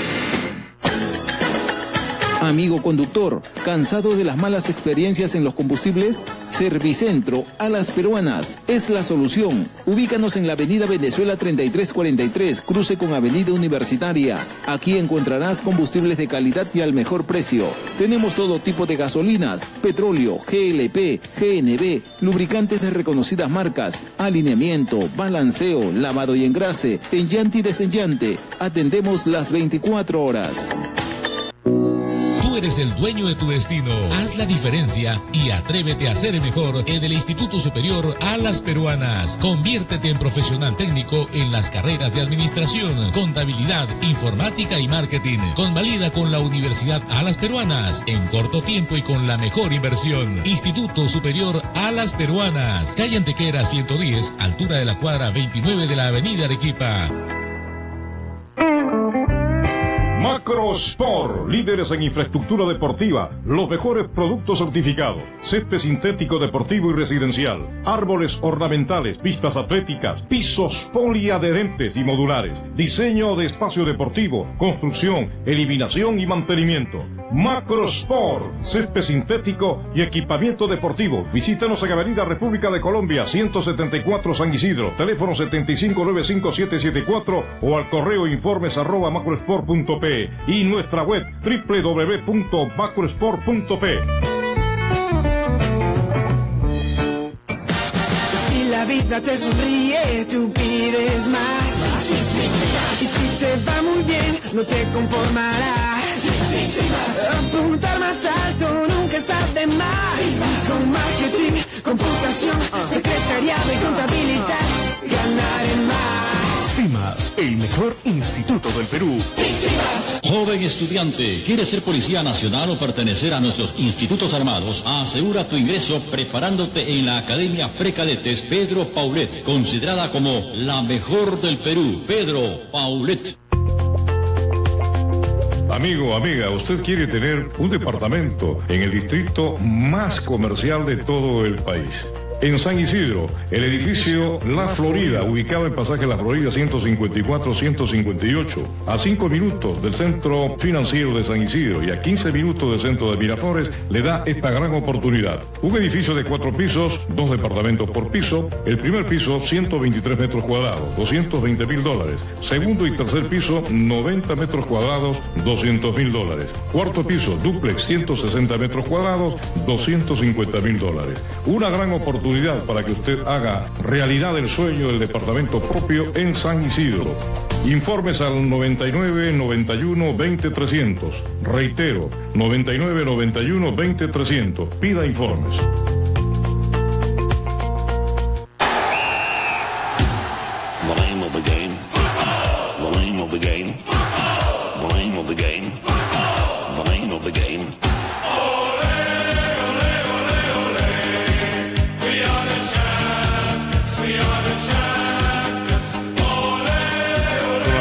Son las 9 con 13 minutos. Vamos a continuar entonces con Super Deporte en Eco Radio. Está el turno para el doctor Freddy Ames eh, en nuestro programa, en su habitual columna Tercer Tiempo, ya que mañana, Día del Trabajador, vamos a silenciar nuestros micrófonos.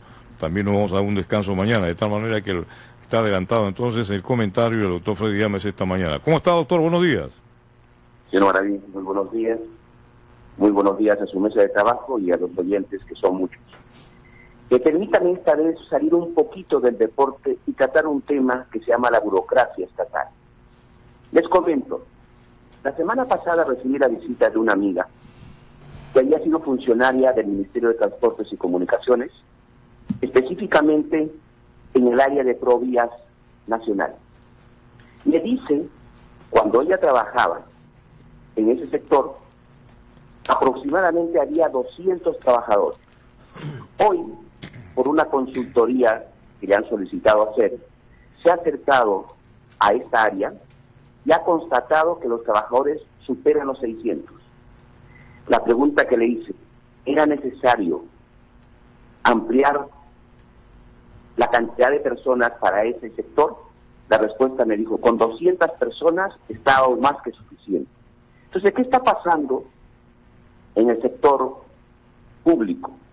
Los presentes o pasados ejecutivos, en este caso políticos, de una forma de pagar favores, están generando empleo, pero empleo improductivo. Este empleo improductivo nos hace mucho daño. ¿Por qué? Porque los impuestos que nosotros pagamos se supone que deben ir para proyectos, para salud, para educación, para la atención de los más necesitados, el caso con de Caliwarma y otros temas que para reducir la pobreza e infraestructura, pero el 80% de los ingresos en algunos sectores se va para gastos corrientes. Entonces, ¿qué ocurre? El Estado se está convirtiendo en un gran empleador. Lo que debe ser a la inversa. El Estado debe ser pequeño y los ingresos de dinero que tienen deben irse para proyectos y para los sectores que he mencionado. Les cuento como anécdota, nosotros al estar trabajando en una tesis de grado, estudiamos hace varios años atrás lo que era el empleo en tres países, Colombia, Perú y Chile, desde la época del año 1940 hasta el año 2007 aproximadamente. Y nos encontramos con una sorpresa de que en los periodos de, por ejemplo, el señor Allende, en Chile existía pleno empleo. Y cuando fuimos un poco más atrás, pudimos observar que ese empleo se debía exclusivamente que el Estado se había convertido en empleador, pero el índice de inflación era realmente muy alto. Cuando asumió el cargo Pinochet, el empleo evidentemente disminuyó, pero poco a poco lograron ellos revertir este concepto de la inflación que era muy alta. Entonces en el Perú estamos otra vez en ese camino de convertirnos en estados empleadores cuando realmente los políticos no saben de que ellos al subir al gobierno no deben, entre comillas, propiciar el ingreso de personas. Eso hace mucho daño a la nación y creo que es importante todos debemos exigirle a los políticos que no actúen de esa manera porque al final lo que están haciendo están medrando y no están dejando un solo centavo para el futuro y para acciones productivas como hemos señalado. Eso es por, eh, al final, señor Maravilla, estoy a vuestra disposición. Eh, doctor Freddy Ames, se mantiene en línea, ¿no? Buenos días. Sí, sí, claro, claro, estoy, en línea. Eh, doctor Ames, eh, quería ir a la parte deportiva. Marcelo Astellano ya no es técnico de Copsol, lo decíamos en la portada. en cuatro fechas creo que ya era un balance rápido como para que no fuera el argentino el DT otra vez de Copsol. Bueno, eh, la pregunta que usted me hace es muy difícil de responder, porque si nosotros tuviéramos una bola de cristal y viéramos el futuro, yo le diría que hemos tomado una buena o mala decisión. Pero quiero decirle lo siguiente, nosotros tuvimos como consigna cuando elegimos al director técnico y a su equipo, que no debíamos perder de local, porque es la consigna, salvo que el otro equipo sea absolutamente superior en el papel y en la cancha, pues no había ninguna alternativa. Tuvimos un buen debut con un empate en Trujillo, pero luego hemos perdido dos partidos de local y otro de. Y lo que hemos podido observar que los equipos no han estado bien, o el equipo no ha estado bien en sus diferentes presentaciones. Entonces creemos que es importante oxigenar y lamentablemente, como usted sabe, la cita se, se parte por el lado más débil, en este caso el técnico.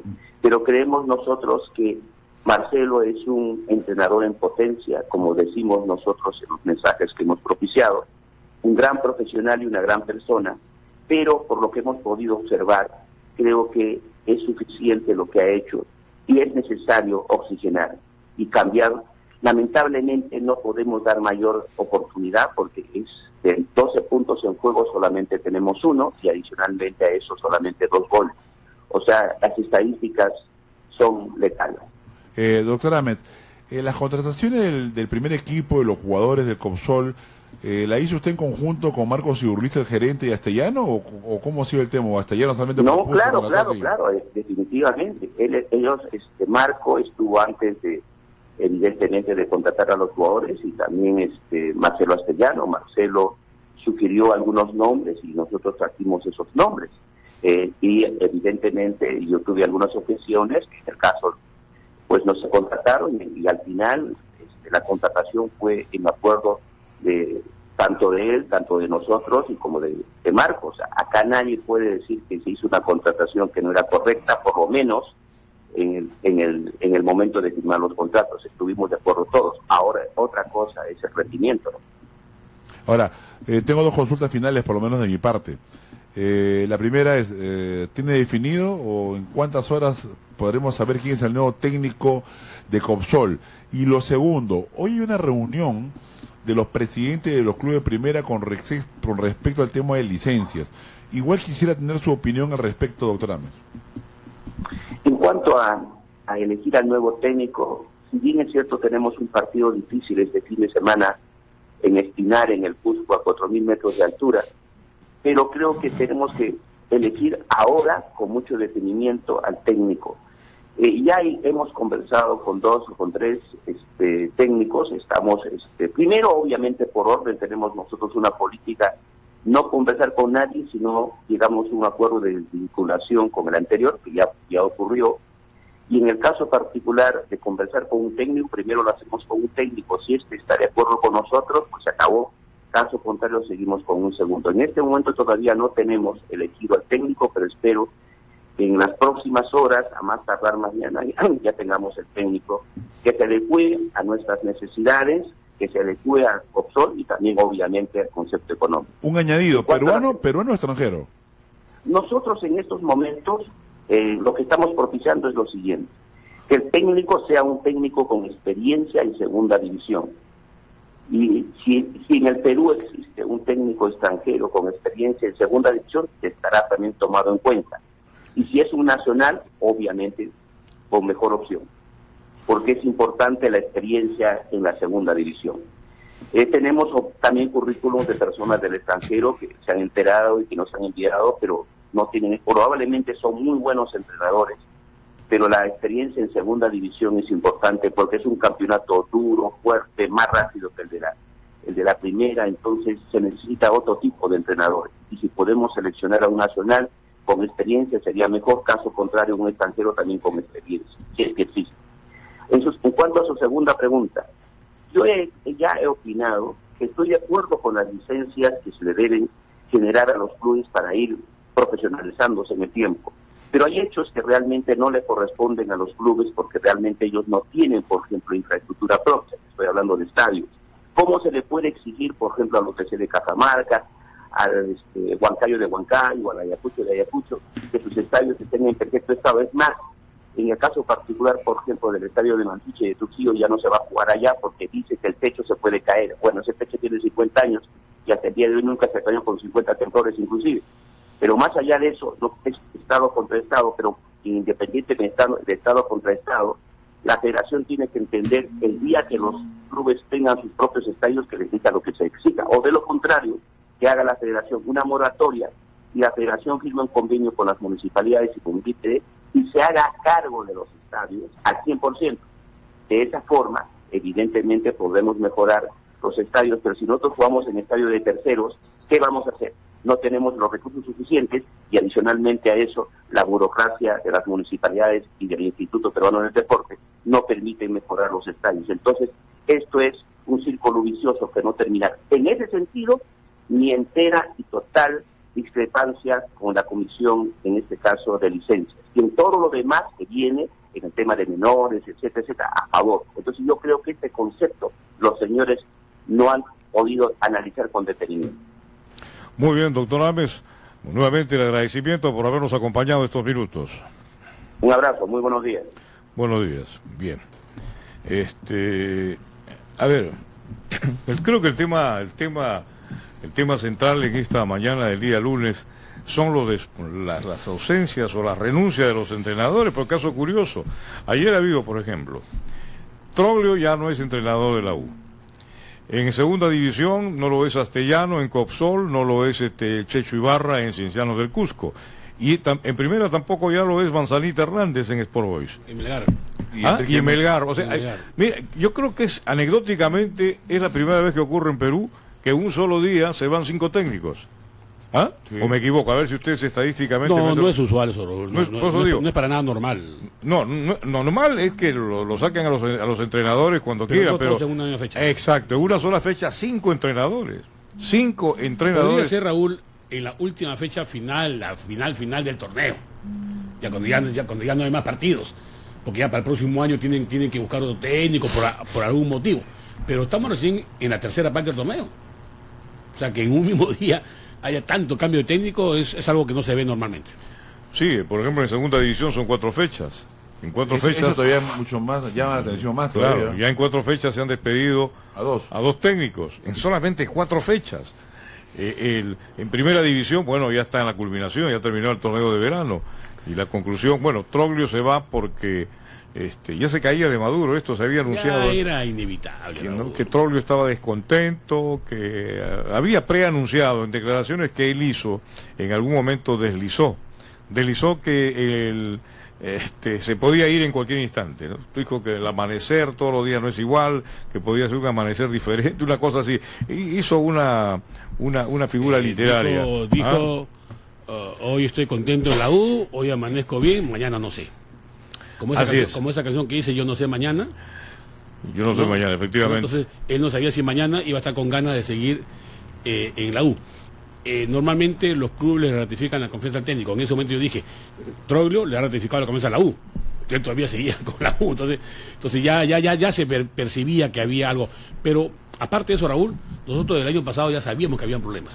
Desde la salida de evento, porque al final Troglio, el único, pero la única persona con la que podía conversar en términos de fútbol era con Bento. A la salida de evento prácticamente quedó sin nadie alrededor que pudiera hablar en temas de, en temas de fútbol, que entendiera el lenguaje de, lo- de la gente que está metida en, en- en el camarín. Luego sucedió un hecho familiar lamentable que a cualquier persona le, le tiene que afectar. no- no tanto a él, sino que era un tema en su familia y había personas de su familia muy cercanos a él que merecían su atención y que hacía poco viable su permanencia en Lima, porque él tenía que irse a vivir a la Argentina para poder estar en esos momentos con, con sus familiares, ¿no? Eh, parece que él de alguna manera pudo solucionar ese problema por un tiempo y debe haber sido también otro componente que ha pesado en la decisión.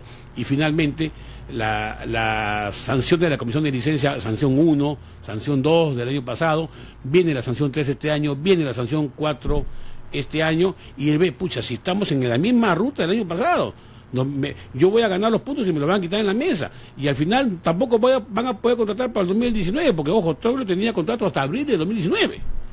¿no? Entonces, él dijo, ¿para qué hago el sacrificio de, digamos, darle una suspensión a mis problemas familiares, mis problemas personales, ¿no? Para un, un equipo que está manejado por gente a la cual eh, en, en- el consex- en el concierto del, del fútbol peruano no pesan nada. Trapean el piso con ellos, porque esa es la realidad. Y esto se lo he dicho a Moreno en, el- la Junta de Comercio, se lo voy a volver a decir. Con él trapean el piso en la federación, en la comisión de licencia. No pesan nada. No tienen el menor peso, ni de una pluma, ni de una hoja de papel. Por eso es que creo que al final Troglio decide ya dar el paso al costado.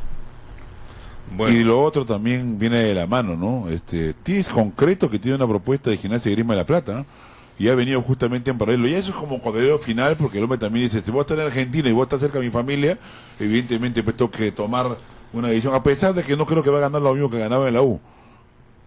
Ahora, la, no va a pregunta, ganar ya, la- no va a la- ganar, creo que- la pregunta es, este, ¿cómo califican la actuación de Pedro Troglio, José Troglio, ¿no? Pedro, Pedro, Pedro Pedro. Troglio, en universitario.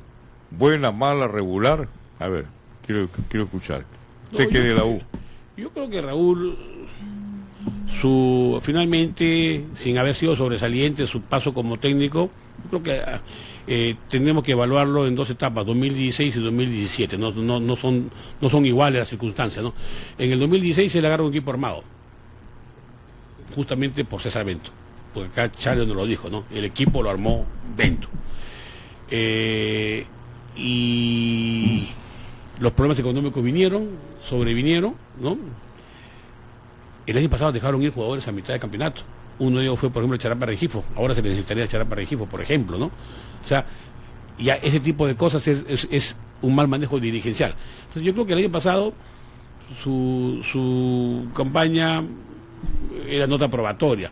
Este año ya no se puede medir la, la actuación de un técnico en esas condiciones. O sea, es, es, es imposible.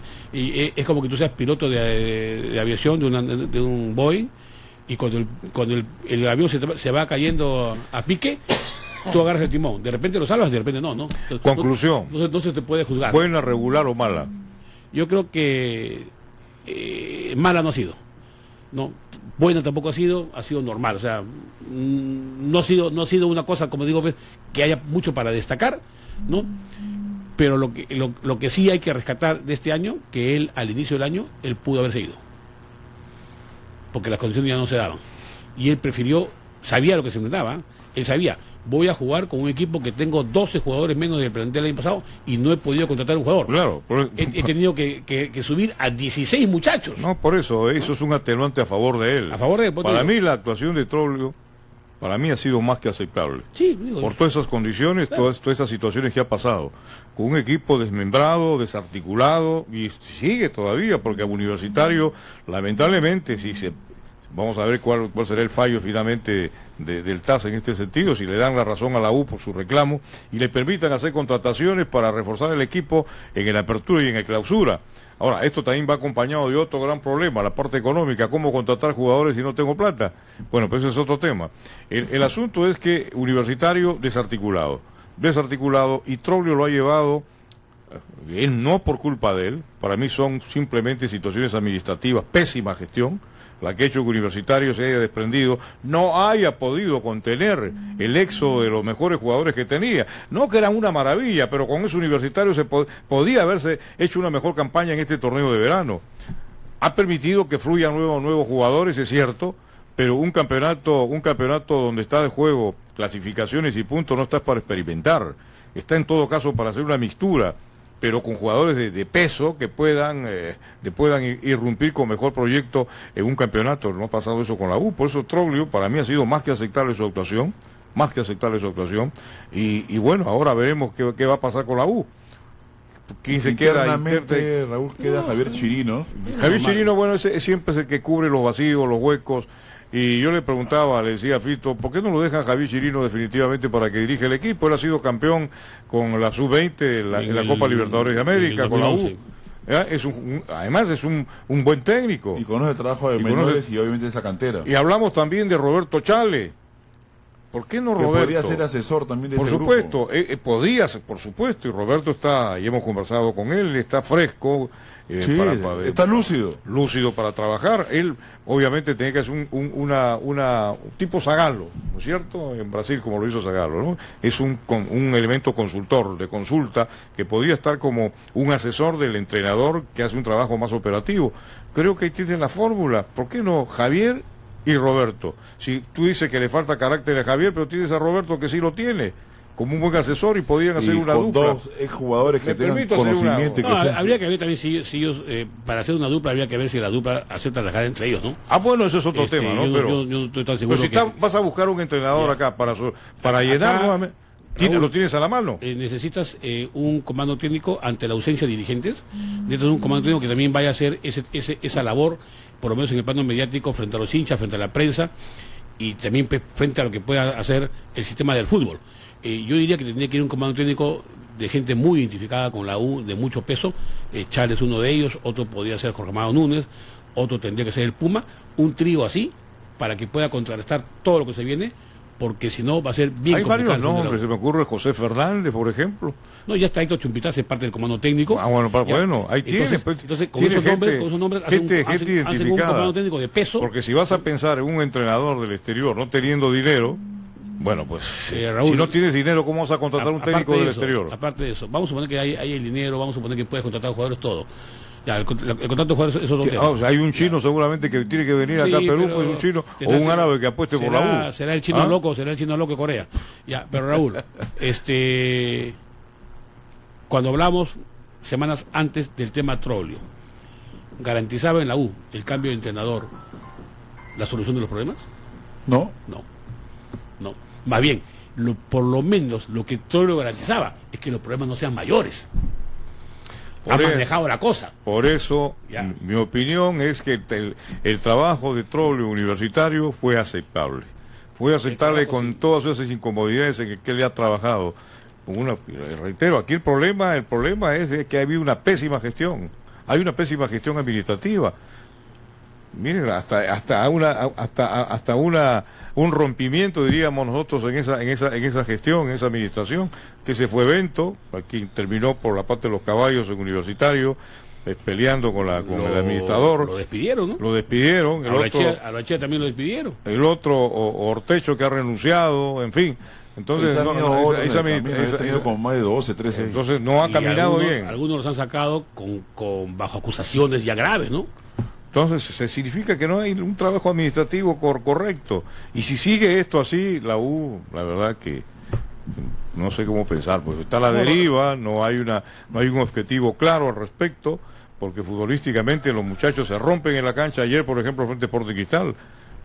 Universitario demostró que, pese a todos los inconvenientes, es un equipo que tiene a nivel local mucha jerarquía. Cristal lo respetó y, pudo, y Crist- el Universitario debió ganar el partido. Faltaban pocos instantes para terminar. Una falla, una falla lamentablemente. Táctica. táctica, no, una falla. de- en esos momentos tienes que Nadie morder. se le pegó a Cazulo. En esos momentos tienes que morder, hombre. Ya faltan pocos instantes y tienes que morder. Tienes que morder ahí a los adversarios. Cazulo es el más bajito del equipo de Cristal. Y metió el gol. ¿Y quién lo, quién lo dejó suelto? Benicasa. Benicasa. Ahí tiene Y que había entrado. Un error tremendo, pero en fin, eh, son cosas que suceden, pues, ¿no? Son cosas Ahora, la U no es candidato a defender de ninguna forma regular. Aparte que la tabla puede decir que está decimoquinto con Sport Boys en el acumulado, no lo es. Yo creo que eh, si comparas, el Boys eh, sí es un barco que a lo mejor se puede hundir más, ¿ah? porque yo no le veo este fútbol a este equipo. Sin embargo, yo sí quiero especular. Y te voy a decir por qué, Raúl. Yo, yo tengo la concepción, y no sé, a lo mejor acá discrepamos, que la federación creo que no, con viendo este tema de licencias y viendo la, rigurosi- la, la rigurosidad que está haciendo este tema, me da la impresión que es inflexible con el tema de Cutero y Cajamarca. Que no conviene a la federación, por lo que yo veo, que estos equipos estén en primera división. Y por eso que tienen tantos inconvenientes. Para A ver, mí, a ver, a los ver, a ver. candidatos para el descenso. A ver, a ver, a ver. ¿Por qué no le convendría a la Federación de Fútbol que Cutervo, el equipo de Comerciantes Unidos, ¿Cuántas trabas le está poniendo para la cancha, Raúl? No, no, pero ¿cuáles son los- las razones, los argumentos? Está bien. ¿Cuáles son los argumentos? A ver, ¿qué argumento habría consistente? Bueno, ellos están poniendo ahí que la cancha no es, este, no es este, la adecuada, que no es oficial y que tiene que cambiar totalmente. Ya dijo el alcalde acá, el presidente Pedraza, que no hay el dinero para poder invertir.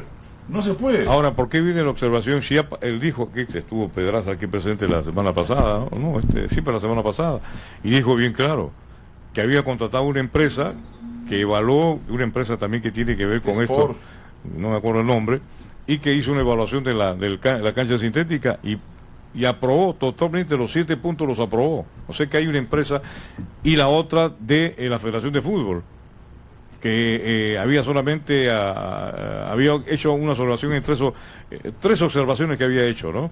Tres observaciones, faltándole todavía culminar, pero se tenía que, que poner en la balanza las dos observaciones para ver si ese campo de juego reúne o no las condiciones. Recién se dan cuenta que no reúne las condiciones, me pregunto yo. Ahora, la FIFA interviene porque la FIFA tiene pues su, su mecanismo, su, meca- su mecanismo, ¿no? La, la FIFA, la FIFA tiene comprometido, tengo entendido, a una empresa a la que les ha vendido los derechos, los derechos de, de- de ser ellos que- los postores que vendan las canchas sintéticas en el mundo. O sea, aquí hay otro tema de negociación, ¿ah? hasta donde nos ha llegado la información. Ah, hay otro tema de negociación, o sea que la FIFA tiene su, su proveedor y ese proveedor está en todas partes del mundo y los únicos que le pueden comprar las canchas sintéticas es esa prove- a ese proveedor. Ese es el tema, o sea, ya estamos hablando de negocio. Entonces le ponen, como no la compró la, la- la municipalidad de Cutervo, el campo, la cancha sintética a esta empresa, entonces le ponen observaciones para dejarlo sin efecto y sentar a, a situaciones anómalas que dice que esa cancha no presenta las condiciones y entonces no puede jugar Cutervo ahí. A mí me parece senci- sen- sencillamente que aquí hay algo de conjura contra el Comerciantes Unidos. Lo quieren sacar, lo quieren sacar. Y miren ustedes todo lo que se pierde, todo lo que se pierde y todo lo que gana el fútbol. Estamos de acuerdo, es lugar difícil por lo que tienen que viajar a un sitio, o llegan a Jaén o llegan a, Chiclayo, y de ahí viajar, transportarse durante cuatro o cinco horas hacia Cutervo. Pero la geografía del Perú es así. Si lo vamos a poner que los equipos, como estaba cuando estaba Unión Minas de, de Cerro de Pasco también en la categoría profesional, los jugadores no querían ir a jugar allá. Decía, ¿cómo vamos a ir a jugar allá a más de 4.000 metros de altura? Ese es un, es un crimen. Pero lamentablemente, lamentablemente, aquí todos tienen el mismo derecho. Los clubes están organizados a través de campeonatos y lo ganan en buena lid en la cancha. La geografía nuestra lamentablemente es así. Se tiene que respetar, sencillamente se tiene que respetar. Aún no nos guste el lugar porque es muy, muy lejos, muchos problemas. Es cierto, eso es problemático para un futbolista, un profesional un deportista que, que, que se maltrata pues con los viajes. Pero lamentablemente, lamentablemente los campeonatos están diseñados para ello. Y si se clasifica un campeón e- en esas eh, eh, eh, en esas circunstancias que tiene los lugares donde son representativos y no reúnen las condiciones para para para para un viaje un viaje tranquilo sereno comodidades y todo ello lamentable pues se tiene que dar entonces habría que suprimir sencillamente la Copa Perú no tendría razón de ser porque no podían participar los equipos que representan a todas las regiones del Perú ¿no es cierto? Y chao, se acabaría el problema. Ya no, no, no estaría representado el fútbol peruano ni en la Copa Perú, ni en Segunda División, ni en nada, porque habría que escoger lugares donde haya las comodidades requeridas para que se haga fútbol profesional. Y eso no se puede, pues. Eso no se puede. Aquí simplemente se tiene que respetar, aún no nos guste, porque la geografía nuestra lamentablemente es así. Así es la geografía y tenemos que respetarla. No estamos pues en Europa, donde la geografía a ellos les permite hacer viajes sin mayores problemas, agarran un avión o transporte a través de un tren y llegan eh, lo más rápido posible, lo más cómodo. Aquí en el Perú no. Aquí en el Perú lamentablemente nuestra región geográfica es tan comprometida, tan, vamos a decir, este, tan... No, es, muy, es muy diversa la muy- topografía muy del Perú, diversa, Raúl. y no nos permite, pero, pues, no pero- nos permite. pero no se puede jugar fútbol en cualquier ciudad de cualquier equipo que logre eh, llegar a la primera. Eh, tiene que darse ciertas condiciones para fútbol profesional. No puede estar tan lejos el aeropuerto de la ciudad donde se va a jugar, porque ya se ha visto. eh, tiene que viajar, aparte del avión, hacer un viaje mixto, o hay algunas ciudades donde no pueden albergar a la delegación completa y con, la- y con los servicios que, que necesita una delegación de fútbol profesional, que por ejemplo la alimentación de un atleta no es la misma que la alimentación de un turista. El turista come lo que hay, punto, pero el atleta tiene que comer su dieta. Entonces hay una serie de cosas eh, en cuanto, por ejemplo, a, a- temas de hospitales y, todo ese eh, todo ese tipo eh, eh, de, de cosas. Pero yo creo que lo fundamental es que el, la, la- la ciudad donde se juegue el fútbol profesional tiene que estar no más allá de hora y media, dos horas de un aeropuerto, porque si no es, es demasiado el, el, el- el trote, es demasiado el ajetreo para, para un, un- No, un- estoy de acuerdo con lo que tú piensas. tiene que ¿no? viajar, que tiene que Pero- viajar en ómnibus. Pero no le puedes negar, no le puedes negar el derecho, porque el campeonato está hecho para eso. Todos los equipos que participan, todos los dirigentes, todos sabemos que la geografía nuestra es muy, muy, muy difícil. Quizás una, una de las más diversas en el mundo, no sé. Entonces, los equipos tienen su derecho y su derecho lo han ganado jugando. Si yo juego, soy de esta región, ¿por qué me van a negar la posibilidad de que mi región juegue yo? Que se tiene que acondicionar, se tiene que acondicionar y ahí tendrían que colaborar las autoridades municipales, regionales, en fin, para poner ad hoc el terreno, no solamente la cancha de fútbol donde se, El donde se va a jugar, no solamente el escenario, sino la infraestructura que tenga el pueblo, por lo menos para dar comodidad a los a los visitantes, que en, en estos casos son los, los, los jugadores de fútbol que llegan de otra parte, pero quitarles la posibilidad, no, a mí me parece que eso sería negarles, negarles un derecho adquirido, porque si no tendríamos el equipo de... de- de- El próximo año Huelgallón no podría. No podía participar. No, ahí lo dijo nuestro amigo el Y- Zamora. y la entonces, si no, si no tiene, si no reúne No. los requisitos no puede jugar, es así simple. No, pues Pero tampoco es cómo lo dejan no. participar, pues. No, Este, pues. no lo dejan participar No, ¿qué es lo que no podía jugar? Entonces, pues, busca, digo, busca otra sede para jugar. Si a- no, pues no puedo buscar otra sede si, yo- si yo soy de aquí, de esta región. Mi pueblo es este. Mi pueblo es este. ¿Por qué me tengo que ir a otro lado a jugar?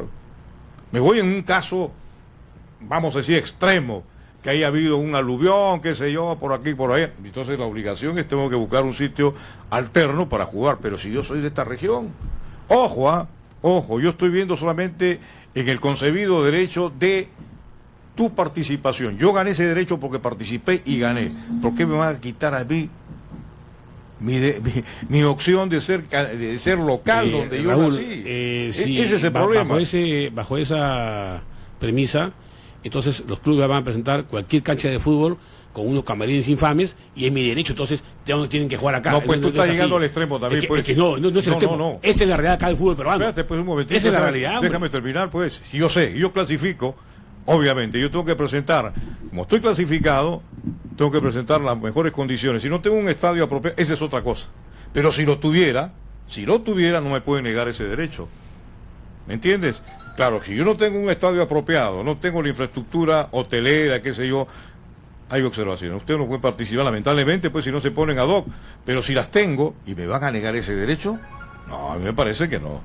Si no tiene lo que tú estás diciendo, estoy de acuerdo. Si no tengo un estadio, una cancha Yo- apropiada, yo estoy ¿cómo va a hablando de Cutervo, porque ya está claro, tiene un aeropuerto en Jaén a hora y media, hora 40, hora 45, una distancia todavía razonable. Ya es muy difícil hacer un viaje de 4 o 6 horas. Hora y media lo puedes, lo puedes este, bandear en un buen bus, no, no, no pasa nada. Eh, el estadio de Cutervo no, no es este, de los peores, entonces ahí sí hay otro tema. Ahí el tema de Cutervo se reduce al tema de la cancha, de la cancha sintética. Yo estoy hablando en general, Raúl, un sitio donde para viajar a la ciudad tienes que ir a un aeropuerto que está a 4 o 5 horas del, del, del- del sitio. Entonces, ahí ya comienzan los problemas. Hay que ver si ese sitio tiene un hospital que reúna las- las- la, la exigencia mínima, porque ya hasta, hasta el reglamento del, del torneo especifica qué tipo de hospital tiene que tener la ciudad y qué tipo de ambulancia tienen que tener en el estadio. No es cualquier ambulancia, una ambulancia que tiene que tener ciertos, ciertos este, elementos. Entonces, si reúnen todo eso, perfecto. Pero, Raúl, acá vemos que hay algunas, algunas ciudades que no reúnen esos No, estamos- en eso sí, las exigencias tienen que ser al máximo, pero no prohibirles, no. Si ellos alcanzan superar ese... eh, eh, Recuerda tú el estadio Torres Belón en Puno, cuando Alfonso Ugarte clasificó la Copa Libertadores de América, hubo un movimiento y eso... para, poner, para poner las luces. no solamente para poner las luces, hombre, para poner a don el terreno, el, El estadio. también, pero el- el- el estadio, el, estadio. pues si tú no lo conociste antes de eso, yo sí lo conocí. No, yo- el, estadio antes. fue, el estadio fue remozado totalmente. Y el estadio Torres Belón, el Coloso de Piedra, se puso a tono para recibir a, a equipos de la- eh, internacionales que jugó la Copa Libertadores. Santa se movió Fe, todo el eh, pueblo. los colombianos eran Millonarios, Santa Fe- Sí, Millonarios claro, y- Millonarios y, y- Unión Santa Fe. Independiente Todo, Santa Fe- todo se movió. Sí, Sí. se puede. Entonces, si un equipo está a, a, a- a portas de una Claro, clasificación pero- o se clasifica, es el gobierno el gobierno municipal, el gobierno regional que tiene que colaborar con es el gobierno que tiene que colaborar, porque si yo porque mira, el Claro, fútbol, pero- pero el gobierno no el fútbol, el fútbol es el mejor embajador, es el mejor supuesto, comunicador y relacionista público que hay. Si tú al fútbol le vas a negar esa posibilidad, siendo gobierno, yo como gobierno que gobierno municipal, gobierno regional, pongan acá un, un estadio por lo menos adecuado. ¿Tiene capacidad hotelera? No la tiene, tiene que tenerla. Si no, no puede participar Eh, para Raúl, la, la final del 2013, el partido que jugó el Garcilaso de vuelta, que creo que fue la ciudad de Espinar, ¿fue este, Leo? El 2013 la U con Garcilaso. Sí, en Espinar. En Espinar, la U se tuvo que alojar en Sicuani porque Espinar no podía alo- alojar a la U a dos horas. de- Entonces, eso es lo que yo digo. O sea, no es el derecho solamente que ya tú dices, yo hago el derecho, hago lo que me da la gana. No, pues, si tú vas, vas a coger una ciudad donde no puedes alojar al visitante, ¿cómo vas a, cómo vas a escoger eso? No, pero yo te estoy hablando, pues, lógico, pues en ese Es caso es que, sí. Raúl, eso se ha dado, pues. Pero si yo tengo. Ahorita se dio, en 2013. Si yo tengo mi, mi, mi, lugar y tengo las comodidades, no me puede negar ese derecho. Si yo Sí, no lo no, tuviera. si lo tiene, sí, obviamente que no. pues, pero, claro. pero eh, es que- es que estamos- eh, el, el caso del de, del Cutervo es particular por, la, por el, el gas, el gas sintético, ¿no? Ya, pero Raúl, acá se han dado casos como que estoy diciendo. Entonces, sí tiene que normarse eso de que si el club en la ciudad donde quiere jugar no reúne los requisitos, porque Garcilaso se pudo haber ido a otra ciudad, pero prefirió escoger Espinar porque era más alto. Ese es el tema, pues, Raúl. O sea, tampoco, tampoco somos caídos del alto. ¿Por qué cogió Espinar? Bueno, pues cuanto más altura Ah, le conviene más. Y a uno ellos. podía alojarse en Espinar, tuvo que alojarse en Sicuani. Entonces, ¿qué es eso? ¿Es el derecho? Ahora, ¿Garcilaso era de Espinar? No, está bien, Raúl. ¿Garcilaso de dónde es? Del Cusco, no de mismo Espinar. Cusco. No de Espinar. Ya, pero ojo. Entonces, según- Cutervo que se vaya a Cajamarca y se acabó el problema. Pero, uh, ¿qué, qué dicen las bases del campeonato? Pues no se puede ir a Cajamarca, seguramente. Ay, ¿por qué no quieren si es, que, si, es que, si es que se lo ¿Y permiten las bases. Sí, sí, sí, lo, sí, se lo permite las bases. Se lo permiten dentro, las de la, sí. de la región puede, pueden, pueden... Porque tienen, no, pero tienen prioridad primero los escenarios naturales, el lugar donde ellos son. como alternos los tienen los otros escenarios. No, el- si yo el tema puedo de jugar en mi está- sitio, ¿por qué me tengo que ir a el otro tema de lado? No está claro. Es un tema de la Comisión de Licencia que no le da pase a ese gas sintético y ellos dicen de que su gas sintético sí reúne los requisitos. Ya inauguraron el año pasado, afortunadamente, el aeropuerto de Jaén y hay vuelos, porque le pregunté al señor, este, ¿cómo se llama? Pedraza, ¿no? Este, si, ¿Qué líneas iban? Iba LAN a Jaén, entonces una línea de primera va a Jaén, entonces, y de Jaén a Cutervo, hora y media, dos horas en ómnibus y está. Entonces, por ese lado no hay problema. Eh, eh, los problemas pueden venir en otras ciudades que, como te digo, con la viveza criolla, te escojo una ciudad donde no te puedes ni alojar, pues Raúl. Solo, solo yo digo, las, las medidas extremas se adoptan cuando el requerimiento exige que tenga todas las comodidades. Y si no las tienes, tienes que aceptar mudarte a otro sitio. Eso estoy de acuerdo. Pero si yo tuviera todas las comodidades dentro de las exigencias, ¿por qué no puedo jugar en mi sitio? Así de fácil. El resto es atendible. No, eso, eso es lógico. El Raúl. resto es atendible, ¿no? Si no, si no tengo, no tengo un escenario apropiado, no tengo uh, lugares de alojamiento apropiados para, para no solamente para lo- los equipos, sino también para los para los turistas que vienen, porque ojo, ya digo, el fútbol es un comunicador excelente para que abre el turismo en todo el Perú, que abre la economía en esos pueblos. Ojo, ¿ah? mucho depende. Mucho, mu- hay muchas cosas que dependen de eso, hay que mirarlo con mucho detenimiento y no pensar únicamente eh, este, hablar por la camiseta, por decirlo así, ¿no? Entonces, Eh, quería aquí hay un tema muy serio, un tema muy serio. Quería contar, mira, cómo están ya la, eh, los medios de comunicación, eh, no sé si especulación o no, porque eh, ya en la U también se dice que la prioridad de la U es Reynoso, la verdad que este, lo he sacado con un medio de comunicación hace un instante, eh, lo cierto es de que vamos a ver si será cierto o no, yo tenía conocimiento que ya había una conversación el día de ayer con Reynoso Melgar, eh, hasta donde yo sé inclusive Juan Reynoso tiene algunas acciones o es también este parte del tema de acreedores, compró parte de la creencia de Melgar. Entonces, este, no sé, la verdad me extraña, pero lo comienzan a circular. Es que la U es un club grande, por Raúl, así que de hecho van a comenzar a mencionarse muchos nombres, pero ya está en carpeta también el de Juan Máximo Reynoso. Bueno, los nombres comienzan a... eh, son especulaciones, pues se habla de, un- de nombres y nombres. En fin, vamos a esperar que toma qué decisión tome la, la administración de universitario. No nos olvidemos que mañana Raúl cambiar de tema un poquito en la parte futbolística siempre, de que mañana juega Real Garcilaso contra Estudiantes de La Plata. Hemos querido contactar con Rolando Cajediva, lamentablemente debe estar haciendo un trabajo de campo, no contesta, y también con el profesor Tabaré Silva. Me ha extrañado que los señores Bajes, que son los dueños, el señor Bajes, dueño del club, bajo la premisa de que siempre cuando lo golean, eh, echa un técnico, no haya tomado esta decisión con Tabaré Silva.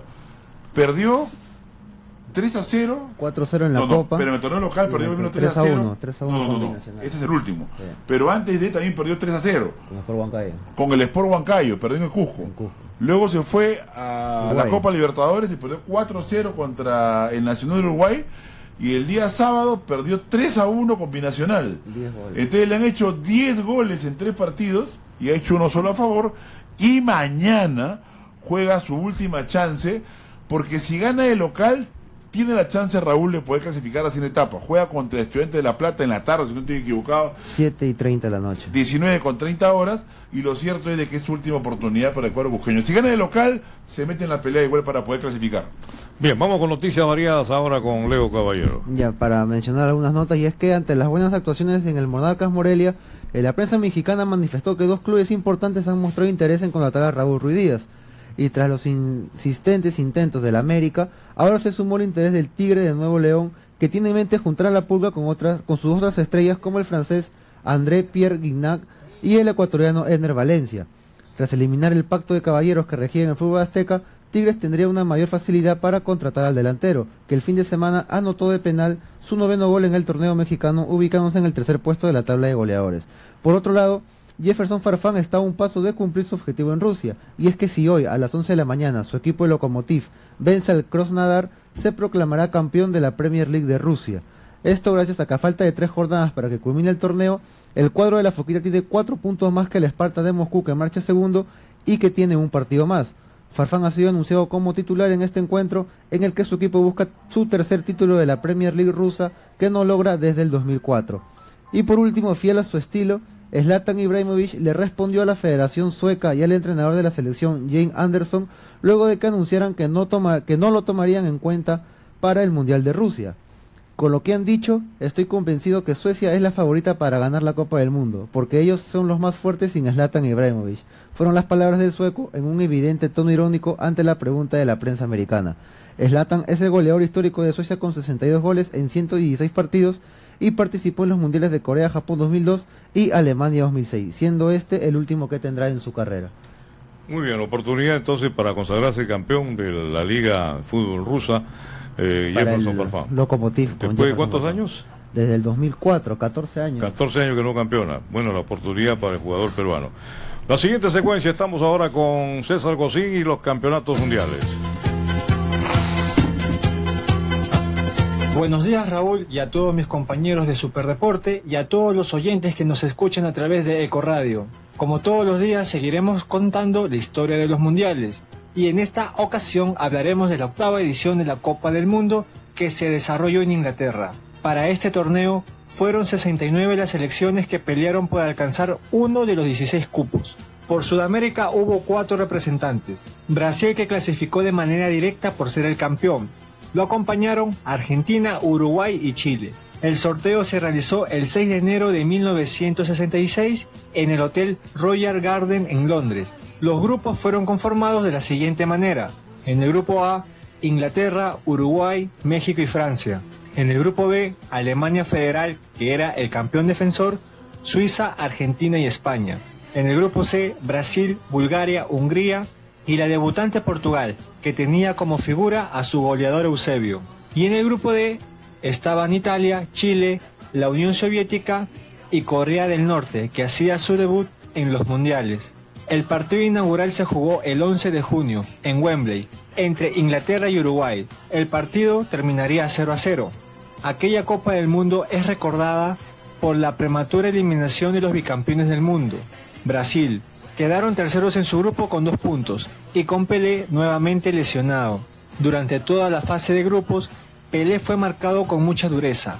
El portugués Moraes con una patada lesionó al astro brasilero. Por su parte, Corea del Norte dio la sorpresa al empatar con Chile 1 a 1 y ganarle por 1 a 0 a Italia. El autor del gol fue Park Doo-ik, que con su diana clasificaba a los norcoreanos a la segunda ronda. La final la jugaron Inglaterra y Alemania Federal, que quería revalidar su campeonato. Ambos terminaron punteros en sus grupos con 5 puntos cada uno. En la siguiente fase, el camino de Inglaterra hacia la final fue derrotando a rivales complicados como Argentina y Portugal. Por otro lado, los teutones derrotaron a Italia y a la Unión Soviética. La final se jugó el 30 de julio de 1966 en Wembley. El partido, durante sus 90 minutos, terminó 2 a 2 y se tuvo que ir al tiempo suplementario. En el minuto 101 se marcó el gol más polémico de la historia de los mundiales. Geoffrey Horst remata el arco y la pelota choca en el travesaño rebotando en el césped. Se discute hasta el día de hoy si la pelota rebotó adentro del arco o fuera de ella. El juez de línea cobró gol e Inglaterra pasaba a tener la ventaja por 3 a 2. El propio Horst marcaría el cuarto definitivo para Inglaterra y el tercero en su cuenta personal.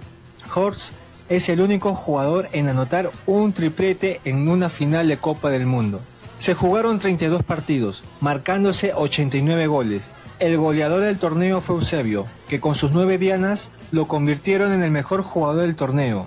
Portugal quedó tercero tras vencer 2-1 a los soviéticos. El premio al mejor jugador joven fue para Franz Beckenbauer. Antes del campeonato, el trofeo de la Copa del Mundo realizó una gira por Inglaterra y fue robada. Una semana después, un perro de nombre Pickles le encontró envuelto en un papel en un jardín. El perro se convirtió en una celebridad que le duró poco. Al año siguiente, el perro Pickles murió ahorcado por su propia cadena luego de perseguir a un gato. Bueno, agregando aún más todavía esta, este documental de los del Campeonato Mundial de, de 1966 en Inglaterra, a propósito de Inglaterra, en su partido inaugural que hicieron los ingleses ante Uruguay, este, que empataron, jugar- este partido fue en Wembley, este, el, tema fue que los se habían olvidado los carnets, las identificaciones de los jugadores, se lo habían dejado en el hotel. Y tuvieron que mandar a un policía en una motocicleta para que vaya al hotel y recoja los, los carneros, los documentos para que identifiquen a los jugadores de Inglaterra, siendo los anfitriones. ¿ah? Es una cuestión anecdótica, en todas partes se cuezan habas. Ah, mira, y, y el policía tuvo que sortear el intenso tráfico de Londres para poder llegar al hotel, regresar inmediatamente antes del partido, porque si no iban a tener problemas. El partido comenzaba a una hora exacta, como está acostumbrado pues un campeonato de esta envergadura. Y, y otra de las cosas curiosas de este campeonato mundial de, de, de- de Inglaterra fue, ¿ustedes recuerdan la expulsión de Ratín? Por supuesto, Raúl. Fue un partido duro. duro un árbitro ruso, checo, era de la es. el árbitro, y Ratín no salía de la cancha.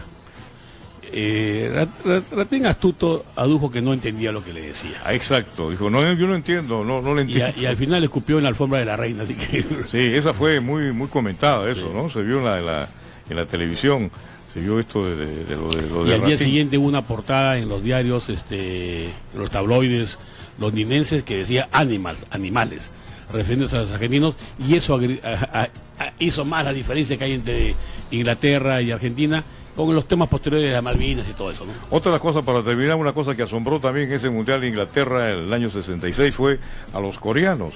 Los coreanos, la forma atlética era impresionante, todos eran, dicen ellos, que eran todos Le igualitos los ganaron coreanos. le ganaron a Italia. Claro. 1 a 0 en la mayor humillación de un equipo que así, en ese momento era bicampeón del mundo y le estaban ganando 3 a 0 a Portugal. Después Eusebio creo que metió cuatro goles y voltearon 5 a 3. Claro, el partido. Pero lo curioso es que el, estado atlético, los coreanos todos igualitos. Corrían como que... Claro, ¿cuál era el secreto de los coreanos? Después le preguntaron. En su alimentación incluía mucha pimienta, comía mucha pimienta. Y estaba prohibido, por supuesto, bebidas alcohólicas, fumar cigarrillo, ninguno fumaba. Y ahí se deducía que el estado atlético era Bueno, la, comida coreana es muy picante y muy condimentada. Bueno, nos vamos hasta, ma- no, hasta mañana. no. Eco Radio te entretiene, te acompaña, se escucha.